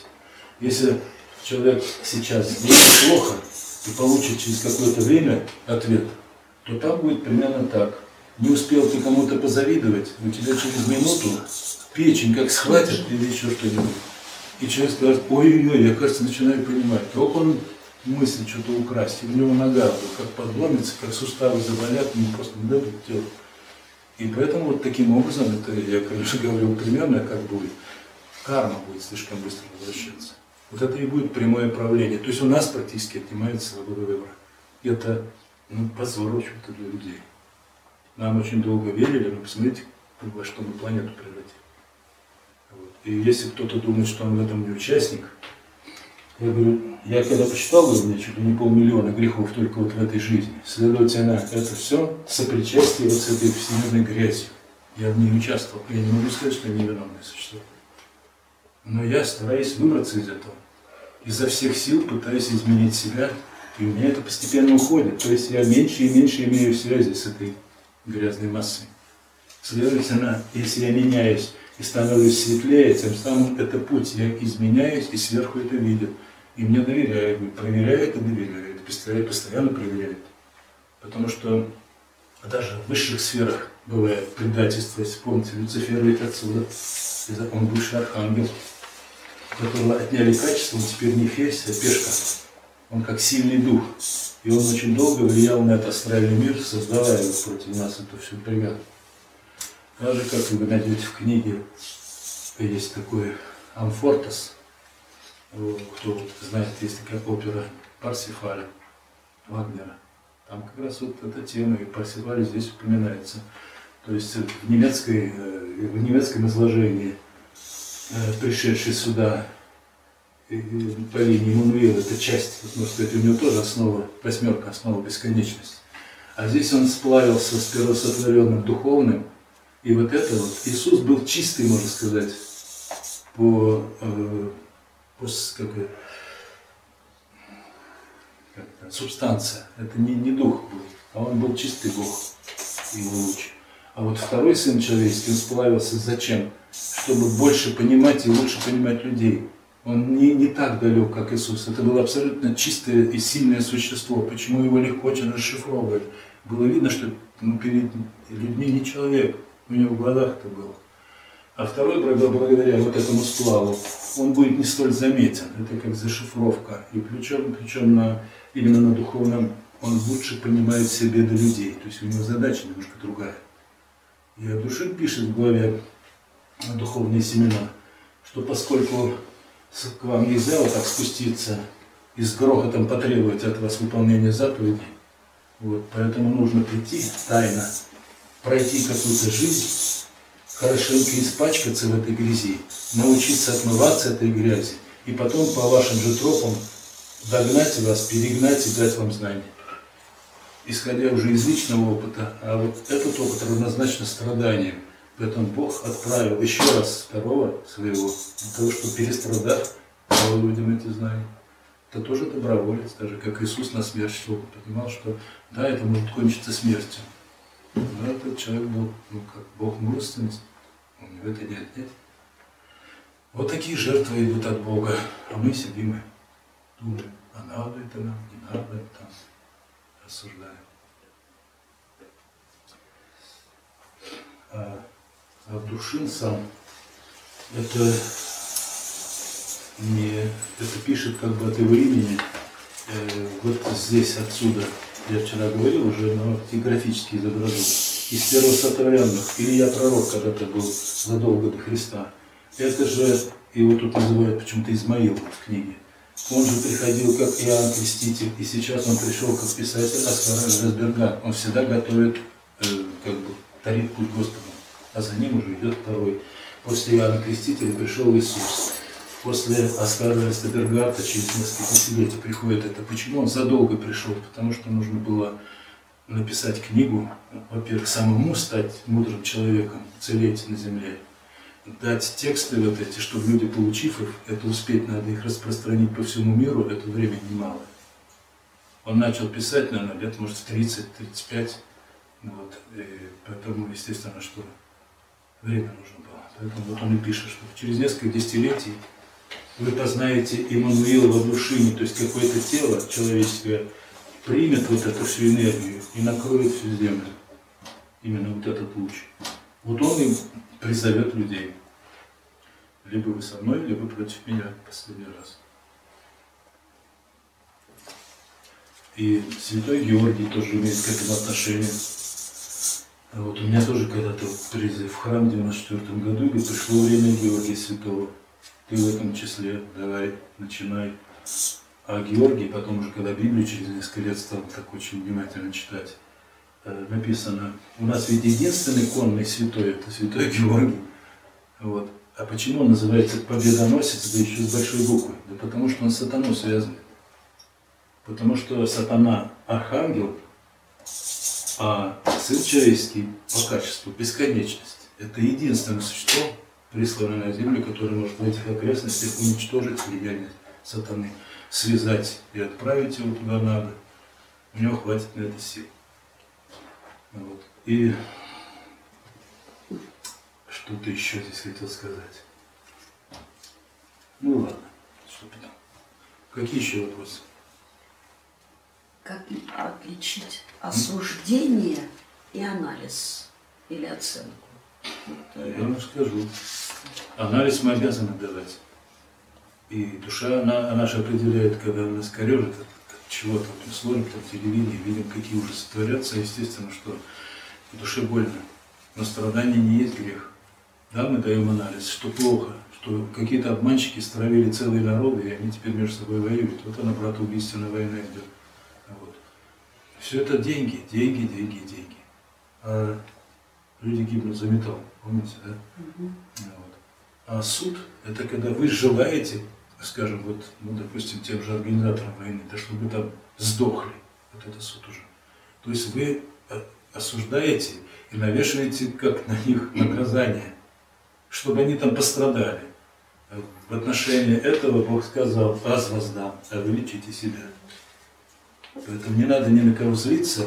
Да, я очень недоволен тем, что делается, но я даже самым плохим людям ничего плохого не желаю. Им своего хватит. По судьбе положено, они все получат. Там такой кошмар, который я даже и не смогу придумать, что им пожелать, понимаете? Какой кошмар за ними тащится. Просто времени пришло. Я вчера объяснял, почему зло большее пока нужно. То есть они загонщики не загоняют многих людей. Вот как раз в эту тему они меня когда-то загнали. То есть они пока нужны. Вот война идет, и люди, которые говорят, Господи, да помоги. Ну так ты иди ко мне, Бог говорит. Иди. Нет. Человек считает, что только позови Бога, он сейчас придет и для тебя все тут сделает. Но это неправильно. Во-первых, нужно поверить, во-вторых, не только в страшной беде, как открываться Богу в ощущении, а ты служи Богу всегда, ведь служение Богу, любовь к Богу есть только в исполнении закона. Тогда ты это, этот мир не пачкаешь. Это этому миру служишь, как тебе и послал Бог. Если вы пришли сюда на землю, так будьте добры, сотворите здесь красоту.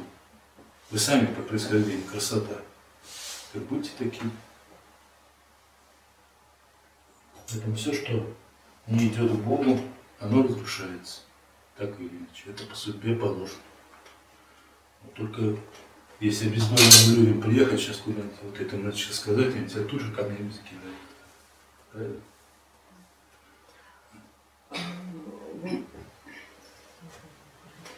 Как помогать ближним своим? А, Вот это три раза можно подсказать человеку, если он что-то неправильно делает. Или просто в натуре игнорировать, если я вот тут вижу. никаких счетов быть не может. Ну так э, Я приблизительно. могу как- сказать, что пока у вас есть желание, говорите. Нет желания, не говорите. Сама душа в ощущениях регулирует отношения наши в любом эпизоде. Я вчера об этом тоже говорил, что вот иногда мне очень хочется помочь человеку, хотя он меня даже иногда и не просит об этом. И очень хочется иногда помогать человеку, когда он просто, ну помоги мне. Потому что я душой чувствую, он недостоин помощи, и бесполезно ему помогать. Он ничего не хочет сам делать. И душа это четко регистрирует, как сканер. На отраженной волне я его характеристику снимаю мгновенно. И душа мне не надо этого делать. А вот тут надо. Человек в беде, и он настолько скромен, и настолько вот он, и видно по его глазам, что он вот тяжело ему.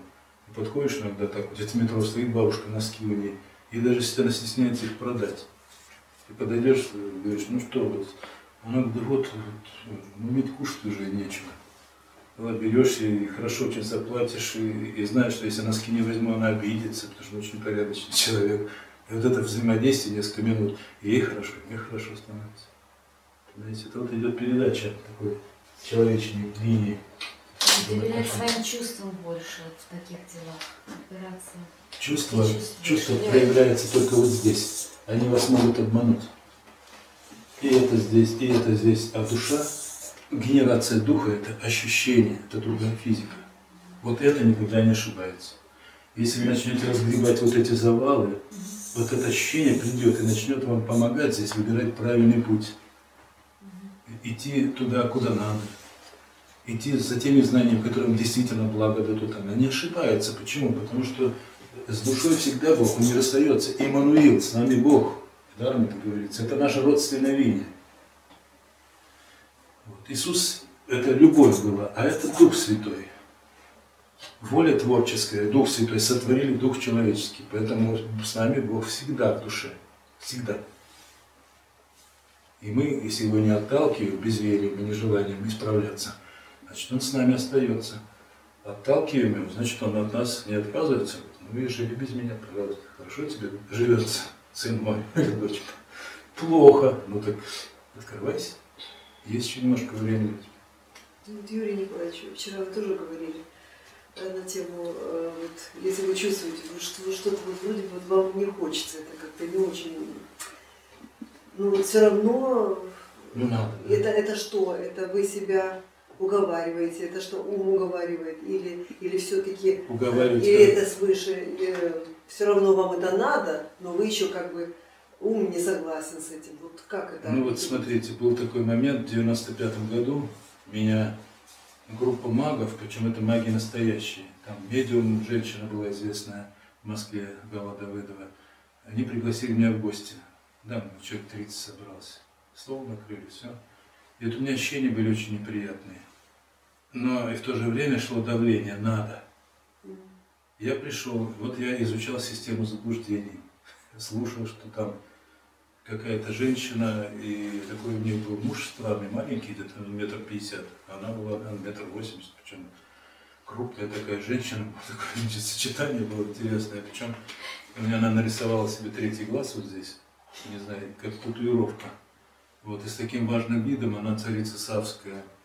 Вот, и так, чуть что. Азирис она звала мужа. Азирис. И он такой, как мышонок, что надо? Настолько смешно было смотреть. И вот, вот таких там было много, перекосы.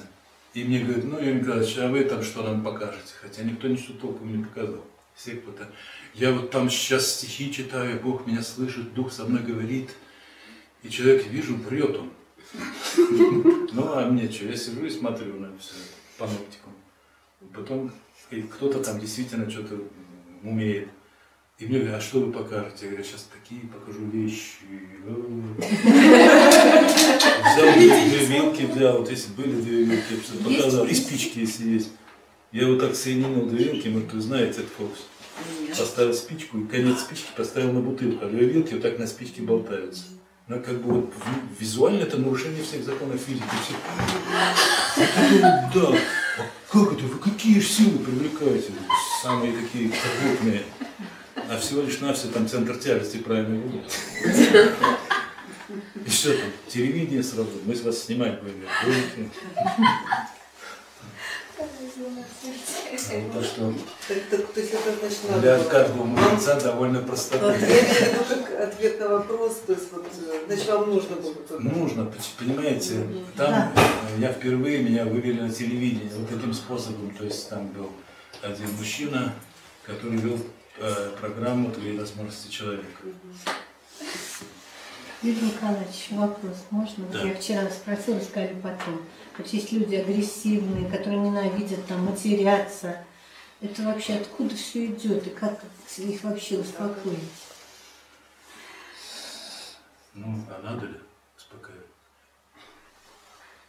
Неприятно, когда слушать. Да. Вот женщина одна мне такой вопрос тоже на лекции задает. Вот иду на остановку, а мужчина стоит, и вот он ну, свои нужды справляет. Причем я ему пытался что сказать, он матерился, чуть не избил меня. Что же делать с такими людьми? Я говорю, вы с ними ничего не сделаете. Потому что всегда задайте вопрос себе, можете ли вшить эту проблему или не можете. Я говорю, ну если я могу, вот, и думаю, вмешаюсь, что будет, и вижу, бесполезно, только еще хуже будет, то не вмешайся. Ты не можешь исправить ситуацию. Ни в стране, ни с хулиганами, ни с бандитами, ни с наркоманами, ни с алкоголиками, ни с соседями грубиянами. Не могу. Следовательно, я вынужден терпеть. И вспоминаем Библию. Христианам последних дней будет очень тяжело, потому что мы находимся в таком окружении. Но я должен это терпеть и принимать в смирении.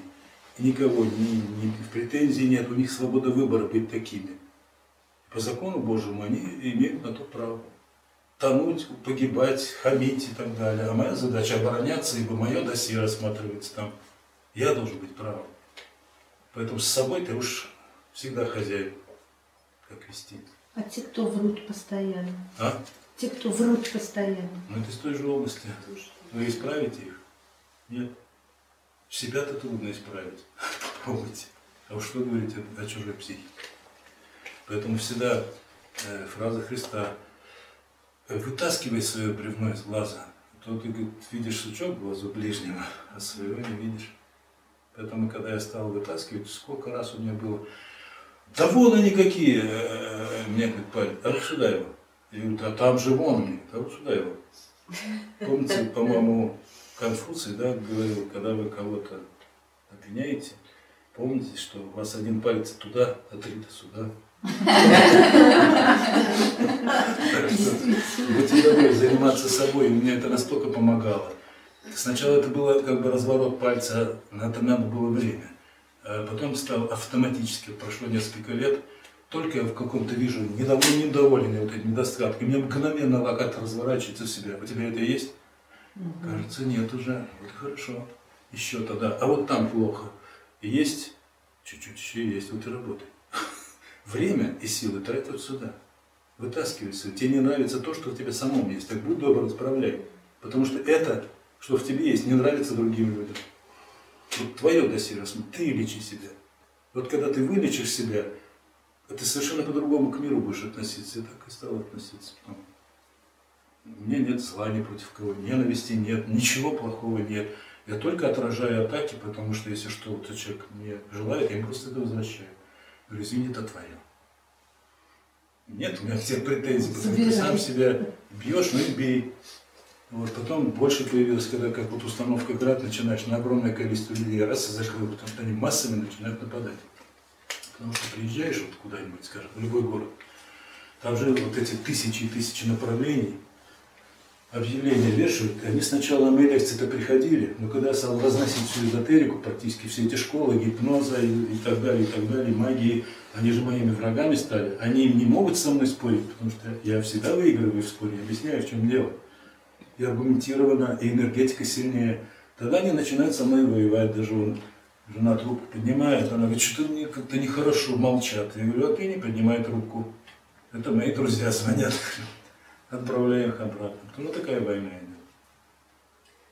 Юрий Николаевич, а вот если вот душа просит, например, вот что-то вот не нравится, душа просит э, что-то сделать или материально помочь, написать куда-то, или вот принять участие в чем-то, какой-то конференции или что-то. Нужно вот это? это душа просит, или это, Да, или это, или это или это ум, или Ну, это вот- ум, вот ты с чем-то это не согласен. разобраться, потому Да. что когда душа хочет, это э, вопрос, кстати, хороший, потому что мозг оперирует на волне 300 точек на секунду. Чувство где-то ну, порядка на 2 выше, а ощущение неизмеримо быстрее и чище, поэтому когда мы достаем уже вот этот агрегат наш, вот он всегда нам говорит правду. И всегда, когда мне какой-то призыв идет, в том числе вот этот приезд в Германию, я вот сюда, вроде минут регистрации идет, что как-то мне вроде не очень хочется, а душа надо, надо. Так же, как вот экстрасенсы, надо. А там есть продолжение пути. Там появилось телевидение, на телевидении меня узнали, и люди сразу пришли много в зал, а там мне эти маги пытались помешать. Вот это очень интересный вопрос, я просто не буду отнимать времени, я потом расскажу, напомните, как первая лекция моя была, и там такие смешные вещи происходили. Поэтому душа это, так скажем, это высшее звено, дух у нас. Вот его надо достать, отряхнуть, и его мускулы, скажем, развивать. Ощущением, когда человек работает, восстанавливаются его способности. Без движения он спит у нас. Поэтому пользоваться этим надо. Мы обязаны, а человек привык оперировать мозгом. Ну-ка, да я быстрее решу вот этим. И вы, вы решаете бытовые задачи, но когда вопрос говорит выбора, правильно или неправильно, будьте добры применять вот эту систему самого себя, дух. Тогда он выйдет и начнет действовать. И чем больше он будет действовать, тем быстрее вы проснетесь в духе. Вам это очень полезно. Пожалуйста. Юрий Николаевич, скажите, пожалуйста, вот как защищаться от гипноза, всяких там черных магов? А в отношении магов и гипнотизера, во-первых, не надо их бояться. Но когда люди даже попадают под их удар, если сами не сможете справиться, можете обратиться за помощью. Потому что все люди, которые вот входят в наш отряд, мы вот особенно первый год я всегда опекаю. Вот и были случаи, почему как только человек стартует по-настоящему именно по этой линии, пока он по этой не ходит, его черти не трогают, потому что он, он и так наш. Вот. Любая другая э, система.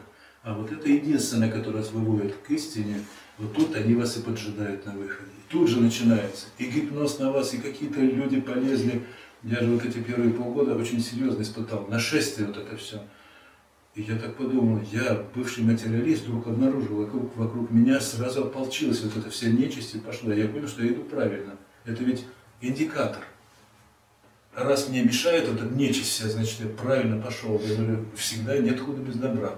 Это мне придало уверенности. Да, мне было тяжело, и крайне тяжело.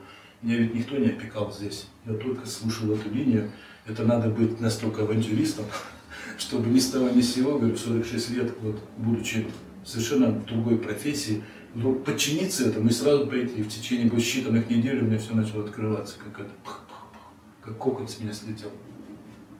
Вот, поэтому именно эта скорость вызвала очень серьезную, скажем, озабоченность со стороны мозга, который мне все время пытался сказать, этого быть не может. Я просыпался утром, меня вот иногда, говорю, как у кота волосы дымом, я говорю, у меня ощущение, что я не то сплю, не то попал, в, вот, знаете, в, непонятно, в какую-то иллюзию. Но не может такого быть. Мозг мой не принимает. Но когда посчитаю, вот, вот несколько дней было, вот это была встреча. Я помог двум людям, вот они конкретные фамилии, имена, лица их вижу. Здесь я вот это сделал, здесь вот такой диалог состоялся. Это было, было, значит, я еще с ума не сошел. Встаю тогда, одеваюсь и пошел дальше умываться и, работать. И вот так было, наверное, где-то, наверное, с полгода, если не больше. Вот потом, когда уже крещение пришло, у меня пришло успокоение, потому что после того, как вот это мне э, вручили, у меня такое внутри состояние изменилось, потому что, во-первых, это очень большое доверие, что я уже точно не предам ни себя, ни эту дорогу, вот, а это уже состояние другое, душа немножко другая. Скажем, если она еще вот как ребенок шаталась, ребенок учится ходить, а тут такое ощущение, что я уже такой, как молодой зверь, я уже сильный, уже вот это пришло, что победить мне уже невозможно. Это, ну, как вот дух такой. Не знаю, передал я вам это mm-hmm. понятие или нет, вот такое пришло. И тогда я уже очень уверенно пошел добывать вот знания, литературу оттуда. Все, что мне надо, мне, мне просто шло навстречу. Я говорю, даже вот надо было разобраться с Кораном, мне его тоже подарили через несколько дней. Вот. Потом я еще один перевод взял. Надо было разобраться э, с иудаизмом. Через несколько дней ко мне в гости приходит Равин. Из первых рук я читаю, потому что он попросил мне помощи по здоровью. Мы скрестили, скажем, э, две ряди шпаги, я выяснил все из первых рук. Понадобилось разобраться с католиками. Ко мне приходят, опять же, через несколько дней приводят совершенно разрушенного офицера картезианского ордена, я его так назвал, какой-то очень, ну как он, как агент что ли, он не рядовой член, он приехал обращать в католичество, скажем, вот там Москва, область там и так далее. Это очень красивый поляк, лет 40, прям, ну, какой мужчина, обалдеть можно. Э, я всегда красоту ценю, даже, даже внешне. И видно, что он человек хороший, глаза такие вот э, хорошие. А он приехал сюда и что-то разболелся гриппом. Ну, его сосватали каким-то магом. Но он все-таки верующий. Его так законопатили маги, что он чуть не умер. Вот и сначала по телефону мне звонят. И говорят, «Э, можете помочь, вот у нас вот священник, э, католик. Я говорю, если он хочет, давайте попробуем. Вот и душа вот как бы надо. А он уже боится. Он думает, сейчас его еще хуже, там последний гвоздь забьют и все. Вот он, а вы кто? А я говорю, я, я вот такой-то. Что, помочь мне можете, если вы хотите. Я не навязываю себя. Он, видимо, в интонациях почувствовал нормально, тепло, говорит, ну, попробуйте. Я поработал, ему стало значительно легче. Ну, минут 5-6. А если, говорю, серьезно хотите, вы подъезжайте. Он приехал ко мне домой, начали беседовать. Я его долечил, он расцвел, глаза заблестели. Вот. И он начал со мной спор идеологический. Он, что он не говорит, он всех святых помянул. И Франциск Осийский там, mm-hmm. и кого он только не приплел. Он к литературе привез только. Вот это об этом святом, об этом святом, об этом святом. Я говорю, знаете что, а зачем мне эти святые? Есть Библия, есть Иисус Христос. Вы как к этому относитесь? Ну да, но Богоматерь же. Я говорю, давайте о Христе поговорим. И, короче, я его на лопатки уложил по всем статьям. Но он человек такой нормальный. Он сказал, вы знаете, если бы вы с папой спорили, папа бы вас победил. Я сомневаюсь, у него нижняя челюсть уже не работает. Иоанн Войтова был. Иоанн Павел. Чем он меня победит? У меня было две челюсти, ну одна работает. Ну, в шутку так.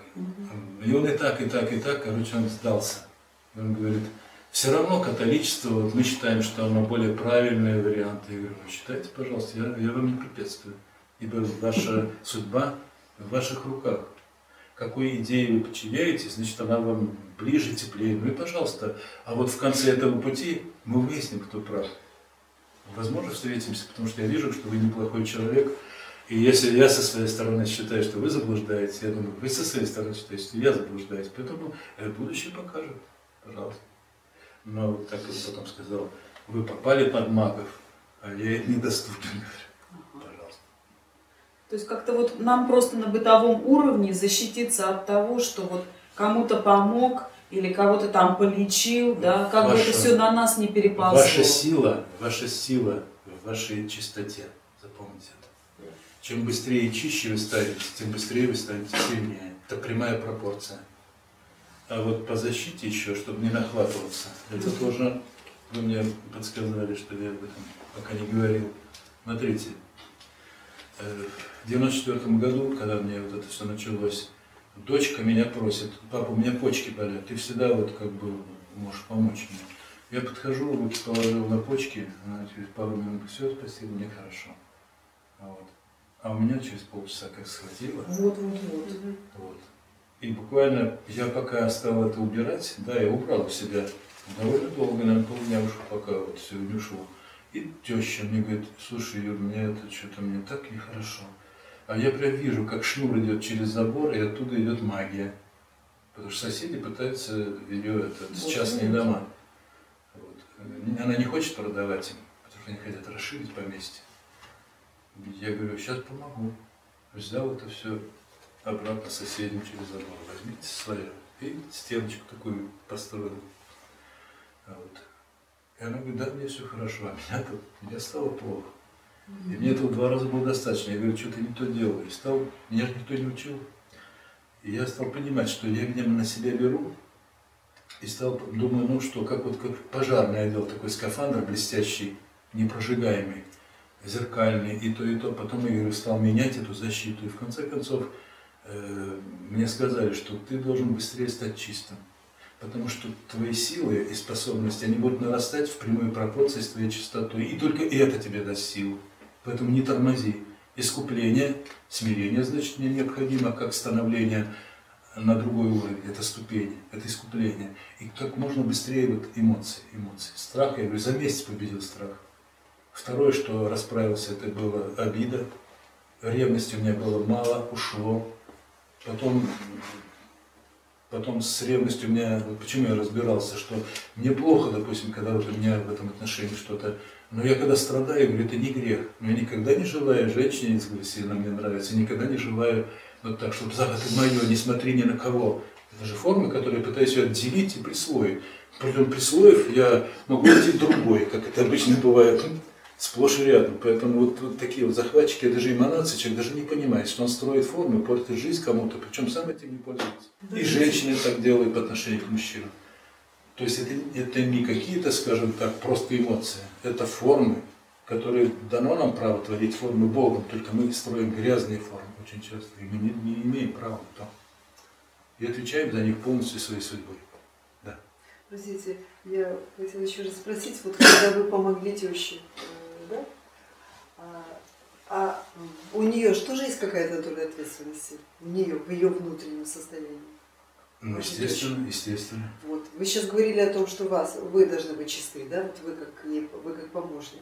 А тот, которому вы помогаете, э, он же тоже должен какую-то лепту внести? Смотрите, э, еще на один выходит вопрос. Э, я помог ей, потому что, во-первых, это люди близкие, во-вторых, я с ней беседовал. Со всеми близкими я, знаете, сколько им лекций прочел на дому? За утренним кофе, за вечерней рюмочкой там, вина или просто чай. И потом вот я чувствую, я просто вот как в стенку говорю, говорю, я вижу по глазам, что человеку, у человека появляется как пленка. Ну говори, мили не мерит твоя неделя.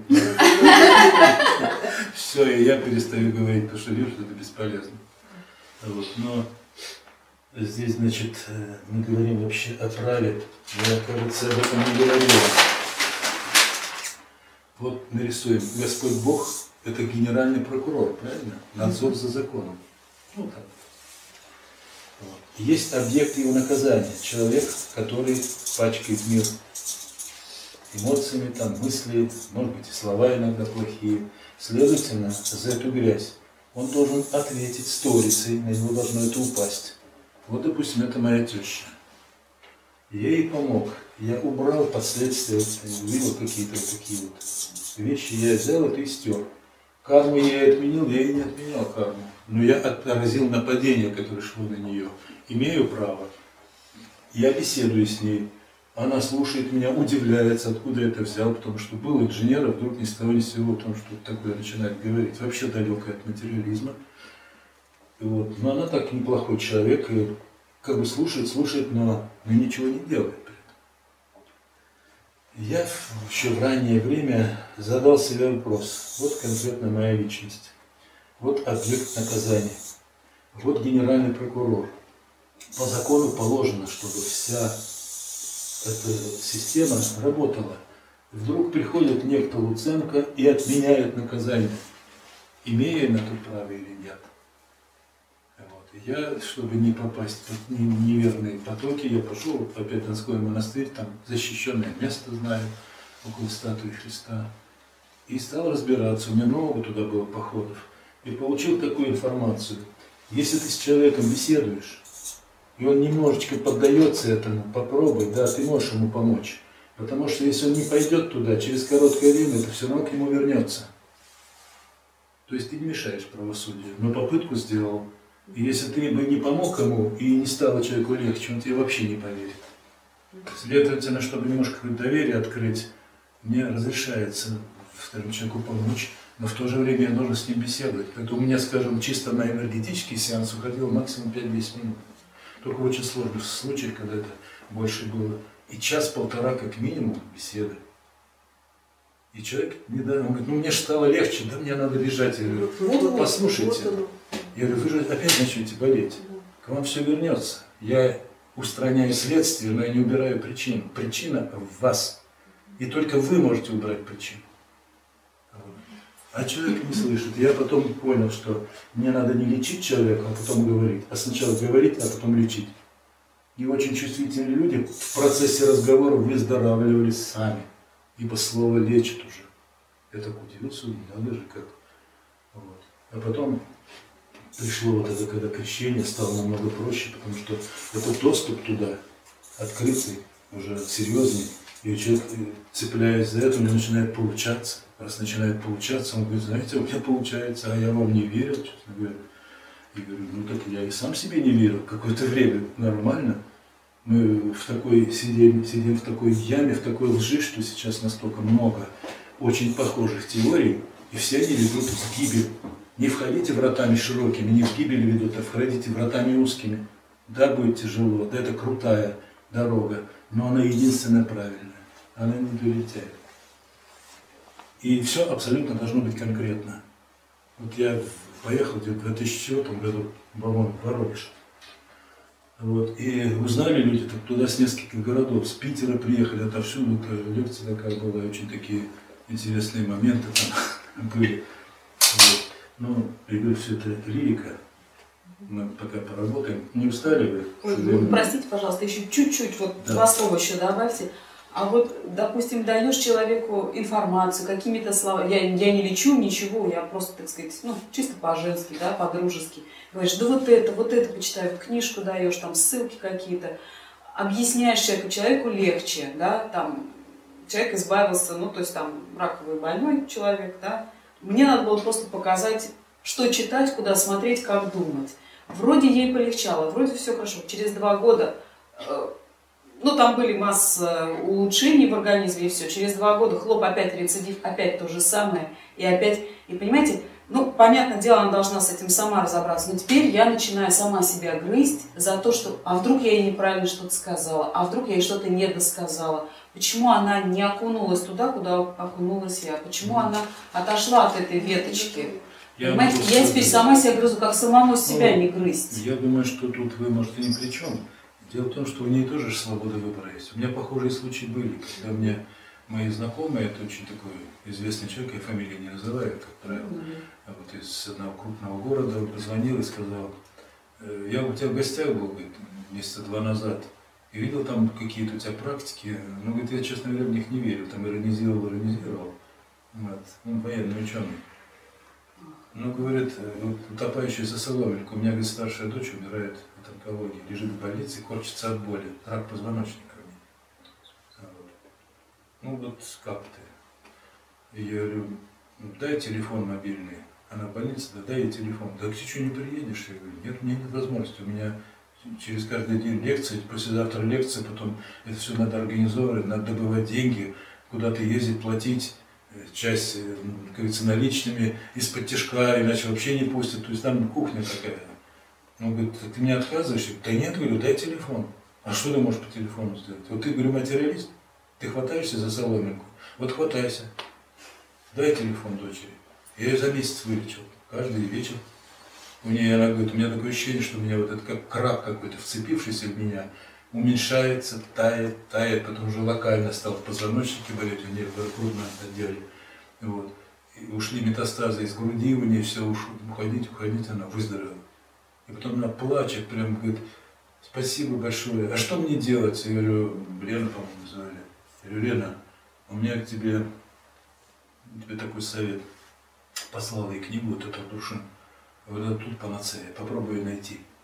Будут вопросы, звони. Вот. Ни разу не позвонила, и книгу потом они сказали, она даже ее не читала. И где-то полтора или два года у нее начался рецидив, и она сошла на нет. То есть вот 38 лет, когда она обратилась, а потом где-то к 40 годам мне повтор. А почему? А потому что ей дали шанс. Но она не обратила внимания. Ну а что я могу сделать? Я не могу заставлять человека и не имею на то права. Это нарушение закона выбора. Бог дал нам право всем выбирать. Хочешь иди, хочешь не иди.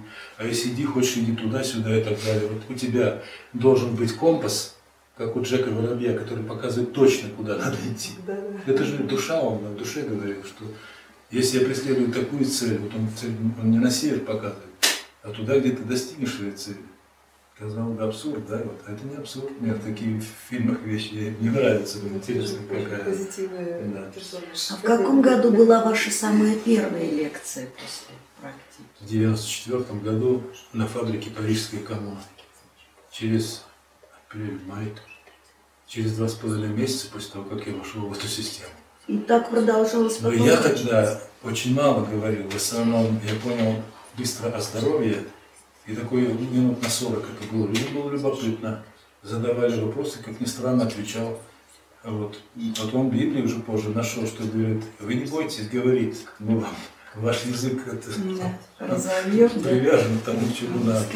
Я в интернете только за 2004 самое раннее. Ну, четвертый, да, это... Я сначала же в Москве работал, а потом попросил, господи, я поездил на поездах и на самолетах, это кошмар, это сплошные очереди за билетами, билетов нет, в поездах пьют, в поездах дети плачут, я приезжаю вымотанный весь, говорю, мне нужна машина. Говорю, мне нужна не машину просил, господи, дай мне работу, работай побольше. Мне как навалили учеников, и за полгода я купил себе Ауди, ну не новый, правда, и стал носиться по всем городам весям. То есть, ну, конечно, далеко там в Сибирь я ездил на самолете, а так там 300, 400, 600, 700 километров. До Белгорода я доезжал 730 километров. Дальше уже думаю, тысячи уже много для меня. Утомительно ехать. А так сел в течение там 8-10 часов максимум я уже на месте. Ярославль, Кострома, Тула, Нижний Новгород, поменьше города, вот туда, туда, туда. Ну, записывали не Там везде. был- а? Записывали не везде, конечно. Вы понимаете, организовать хорошую съемку, это тоже, э, во-первых, нужен профессионал, хорошая аппаратура. Часто ребята снимали на любительские эти камеры, а вот, и, конечно, качество записи не очень. Первый раз, когда мне сняли настоящие телевизионщики, я помог там одной женщине, а у нее муж гражданский, на телевидении работал центральном. Притащил вот такие камеры, установил и то, и то. Меня покрасили, чтобы я там ничего не блестел. И пошла работа. И в тот момент очень интересный, э, народу было немного, вот человек 40 всего, такой камерный зал. Вот потом я хожу и смотрю, и смотрю, у людей почему-то, не у всех, конечно, а у многих, очень удивленные взгляды, просто, знаете, как-то. Что такое? А помню, галстук одел, ну, галстук вылез. Вроде нормально все. Я-то ничего не вижу, а потом, когда со сцены сошел, они говорят, вы знаете, когда вы так вот в самый апогей вошли, подачи, у меня же тоже разгорается как бы реактор. Они говорят, вот вы идете, а у вас огненная аура, как протуберанцы за вами. Я их не видел, вы там увидели. Человек семь говорит, мы их видели. Потом говорит, был момент, когда вы вообще пропали, такой огненный шар, а оттуда идет звук, аж страшно стало. Я говорю, это не я. Я говорю, нет, думаю, что у меня что-то не то вот здесь то. То есть что-то с энергетикой, это влияет на людей, конечно, да. Для меня, конечно, любопытно было. И было так два-три раза в других местах. Поэтому я думаю, значит, надо реактор держать на, на половину режима. А то заметут шарик куда-нибудь. Ну и какие вопросы еще? Ответственны ли мы за своих близких, за детей, за внуков? Конечно. Ребенок до полового созревания полностью в вашем ведении. Вы должны из него сделать заготовку начально, ну как вот Карл, папа Карл из Буратино строгал, Свой был нормальным. да. То есть максимально повлиять на его характер. Хотя это гость в семье, и он со своим прошлым пришел. Вы можете, конечно, колоссальное влияние на него оказать, но только в одном случае, если вы сами это умеете. Родители должны быть в духе очень сильны, потому что ребенок реагирует не на слова, а на ваше душевное состояние. Дети прекрасно это понимают. Если родитель призывает вас к чему-то, но сам ведет себя неправильно, у ребенка начнется протест. И он будет вас не слушать, капризничать.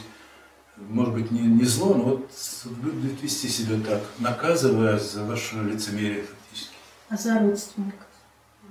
За Смотря за каких родителей? м, родителей. Ну, у меня мама, я говорю, она почти доктор наук, она только не защитилась, а так, потому что она настолько здоровье потеряла на кандидатской. Она собрала уже все, и реферат был, и так далее, уже ВАК. Я говорю, мама, зачем тебе это надо? У тебя была чистая диссертация, тебе трех приписали соавторов, твой начальник, там одного это как такая скрытая взятка, иначе ты бы не прошла. И сколько ты валидола попила из-за этого, а теперь тебе еще человек пять повесят. А нести ношу это будешь ты, тебе это надо в твои там 66-67 лет, ну и возраст она была. Она, да, ты прав. И говорю, ты для себя сделал выводы, что ты сильный человек, что ты можешь это делать, что у тебя книги свои есть, что ты, э, у тебя самоуважение есть. Все, это главное. А зачем тебе это все под конец, эти стрессы? Скажу, жизнь кончается, говорю, у нас у всех. И не надо последние эти фрагменты глушить вот такими делами. Она туда говорит, не буду защищать. Что-то так она отказалась. Тем не менее, я когда с ней говорил на эту тему, она сначала очень в штыки это все встречала. Она говорила, ты был нормальный человек, и сейчас непонятно, как, как, как это у тебя мерехлюндия там в голову въехала. Это не научно. Я говорю, мам, дай мне пожить хотя бы несколько месяцев так. Прошло несколько месяцев, у меня здоровье стало лучше, она это заметила. Ну, это случайно. Я говорю, ну да, прошел еще год, полтора. Я так от нее отбивался, отбивался, а потом она поняла, скажешь, что, кажется, это, у тебя что-то получается. Я говорю, мам, ты меня зовешь жить так, как ты хочешь. А ты счастлива, говорю, смотри, семья наша развалилась, ты все время болеешь. Скажи, что, ну, кроме того, что просто у нас были хорошие с тобой отношения, что еще хорошего у нас было в нашей судьбе, в семейной? Она говорит, да, тяжело. Я говорю, а у меня лучше и лучше. Зачем же мне повторять вот твой вариант? Я говорю, может, я нащупал ту тропу, которая приведет на более лучшую жизнь. И вот она годика через два-три впервые начала читать Абрушина. Почитала раз, почитала два. Я ее постоянно заряжал, объяснял, в чью, потом она меня брат пошел расцвет, она так заулыбалась, как говорю, слушай, так это же правда, говорит, наверное. Я говорю, а ты что думал? Я говорю, тебе никогда врать не буду. И вот так на нее, она говорит, я бы, наверное, так не прожила бы долго, если бы ты, потому что я уже вот чувствовал, что как к концу подходит. И мне несколько лет подарил жизнь еще. Потом она вот созрела, и вера появилась. Вот. А что мы можем повлиять на родителей? Но только в одном случае, если мы сами чего-то добиваемся, потому что человек смотрит на результат. Вот есть муж, жена, недавно знакомые они. Муж долго присматривался, а потом на жену сказал, ты за несколько лет стал такой красивый какой-то, необычный, такой интересный, да, будет там ну, за 40 уже. Он в нее еще раз влюбился, ну, 15 с чем-то лет они живут. Вот, и поверил в это, он говорит, да, это очень хорошее дело. Понимаете, вот долго, конечно, она там, по-моему, в 2004 году, он только вот сейчас прозрел. Ну, лучше поздно, чем никогда. А то есть такое, по-моему, немецкое выражение, да? Цушпет. Есть. Такое. Слишком поздно. А среди ваших последователей больше женщин? Да. Ну и Библия так говорит. Ну, А нормально. вот вчера я, по-моему, читал. Да, вы говорили, что у них интуиция Сначала э, говорит, росточек. людей останется мало на земле, как, как золото 99-й пробы, э, 999 а мужчин как золото афирского, то есть какое-то редкое золото было. Есть, поскольку мужчины, они в логике очень сильны, мозги, если человек умный, вот воля от ума, потому что в основном мужчины больше оперируют мозгом, потому что им надо решать земные задачи. В основном мужчина это добытчик, это защитник. Он на себя берет все грубые стороны жизни. А женщина, она более интуитивна. У нее вот эти росточки хорошие. Поэтому ей- до нее легче это донести. Это не, не феномен, это нормально. Вот. Я еще раз картинку верну. Раз мы уж о женщине заговорили. Вот первосотворенный духовный. А вот мы здесь. Вот у женщины а, есть выход туда, фрагментик. У мужчины нет, он вот, это его потолок. Все, это физика мужчины там кончается, а у женщины нет. Вот это и есть та женская изюминка, которая привлекает мужчин. Ей дано больше в духе.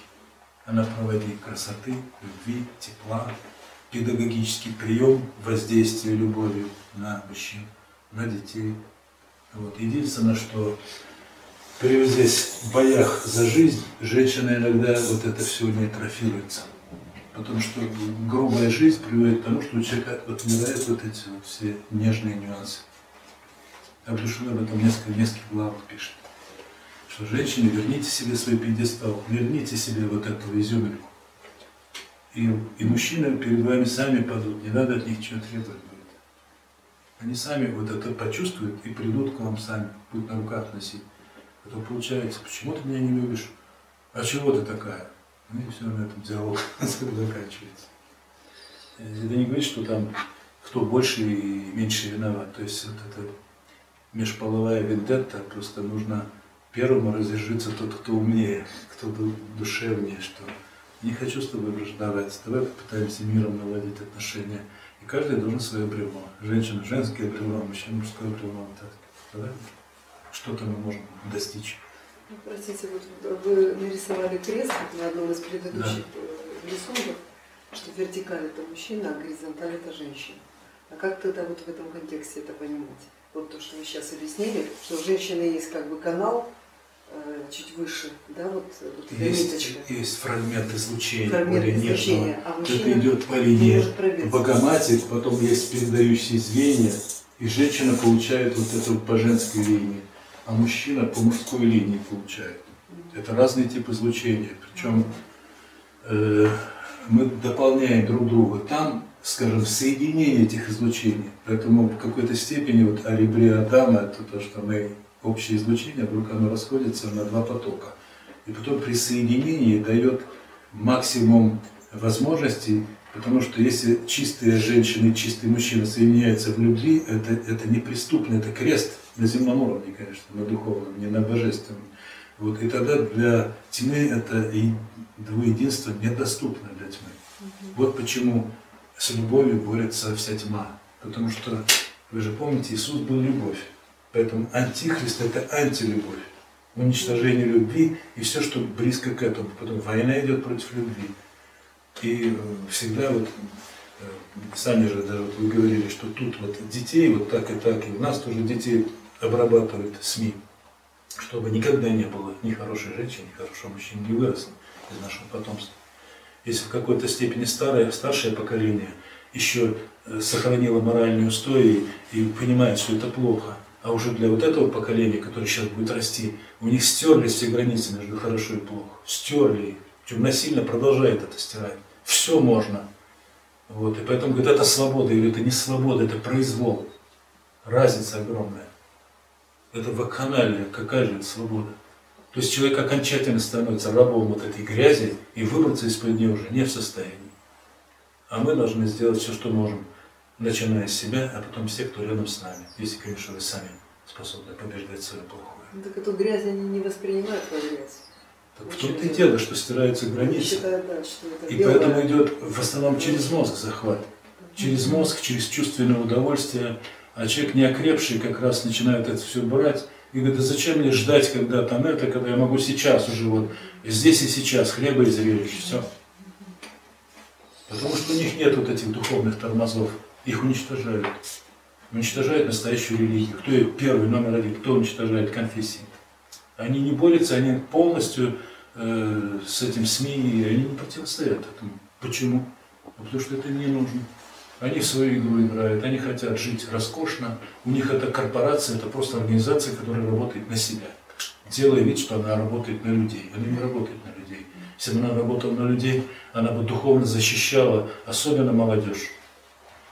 И нас бы тогда сказал, вы что делаете? Вы встряхните своих детей, да и сами встряхнитесь. Вы что? Я, если человек так делает, то вы не ходите в храм. Вы имеете право на дорогу, порог переступать храма. Что вы креститесь, когда вы не, не верите? Вы постоянно ведете себя так. Вы не имеете права. Это кощунство креститься при вашем поведении. Убиваете, грабите, приходите в храм и начинаете, батюшка, отпусти мне грехи. Я там ограбил человек 40. Он говорит, 40 ограбил? Это тебе дорого обойдется. Давай, за каждого то вот столько. И будет отпущение. Ну, это, конечно, крайний случай. Я говорю, далеко не всегда так, но очень. Почти. Юрий Николаевич, вот вчера еще мы тему коротенько так затронули э, по чакрам. Каждая чакра за какие моменты отвечает. Не могли бы вы еще раз? Просто очень быстро я не все успела записать. Вот все семь, все семь А э, ведь чакр. будет А, в записи есть? А, все, извините. Самое главное помните, что первая чакра – это вот основа позвоночника из-за духовной линии, поэтому все позвоночники плохие. Еще самое гла- главнейшая чакра, шестая. Все измы сидят, вся ложь, потому что захват идет человеческой психики через ложь мозга. И мозг всегда оправдывает нас. Если вы, скажем, не имеете вот этой логики, которую я вам дал, я говорю, допустим, кто-то подошел и у вас что-то там плохое сделал, и вы на него обиделись, разозлились. И вот и у меня всегда как бы ответить на это, да что это, начинается и обидно, и как это, а мне говорят, а ты забываешь, что ты с тем самым Богом, с Богом враждуешь. Он мне говорит, а ты что, был всегда прав? Пришел ответ тебе по судьбе. И тогда ты успокаиваешься. То есть против логики тьмы я всегда выставляю логику света. Я говорю, не хочу с Богом враждовать. Вот он закон, он простой и ясный, я его понимаю.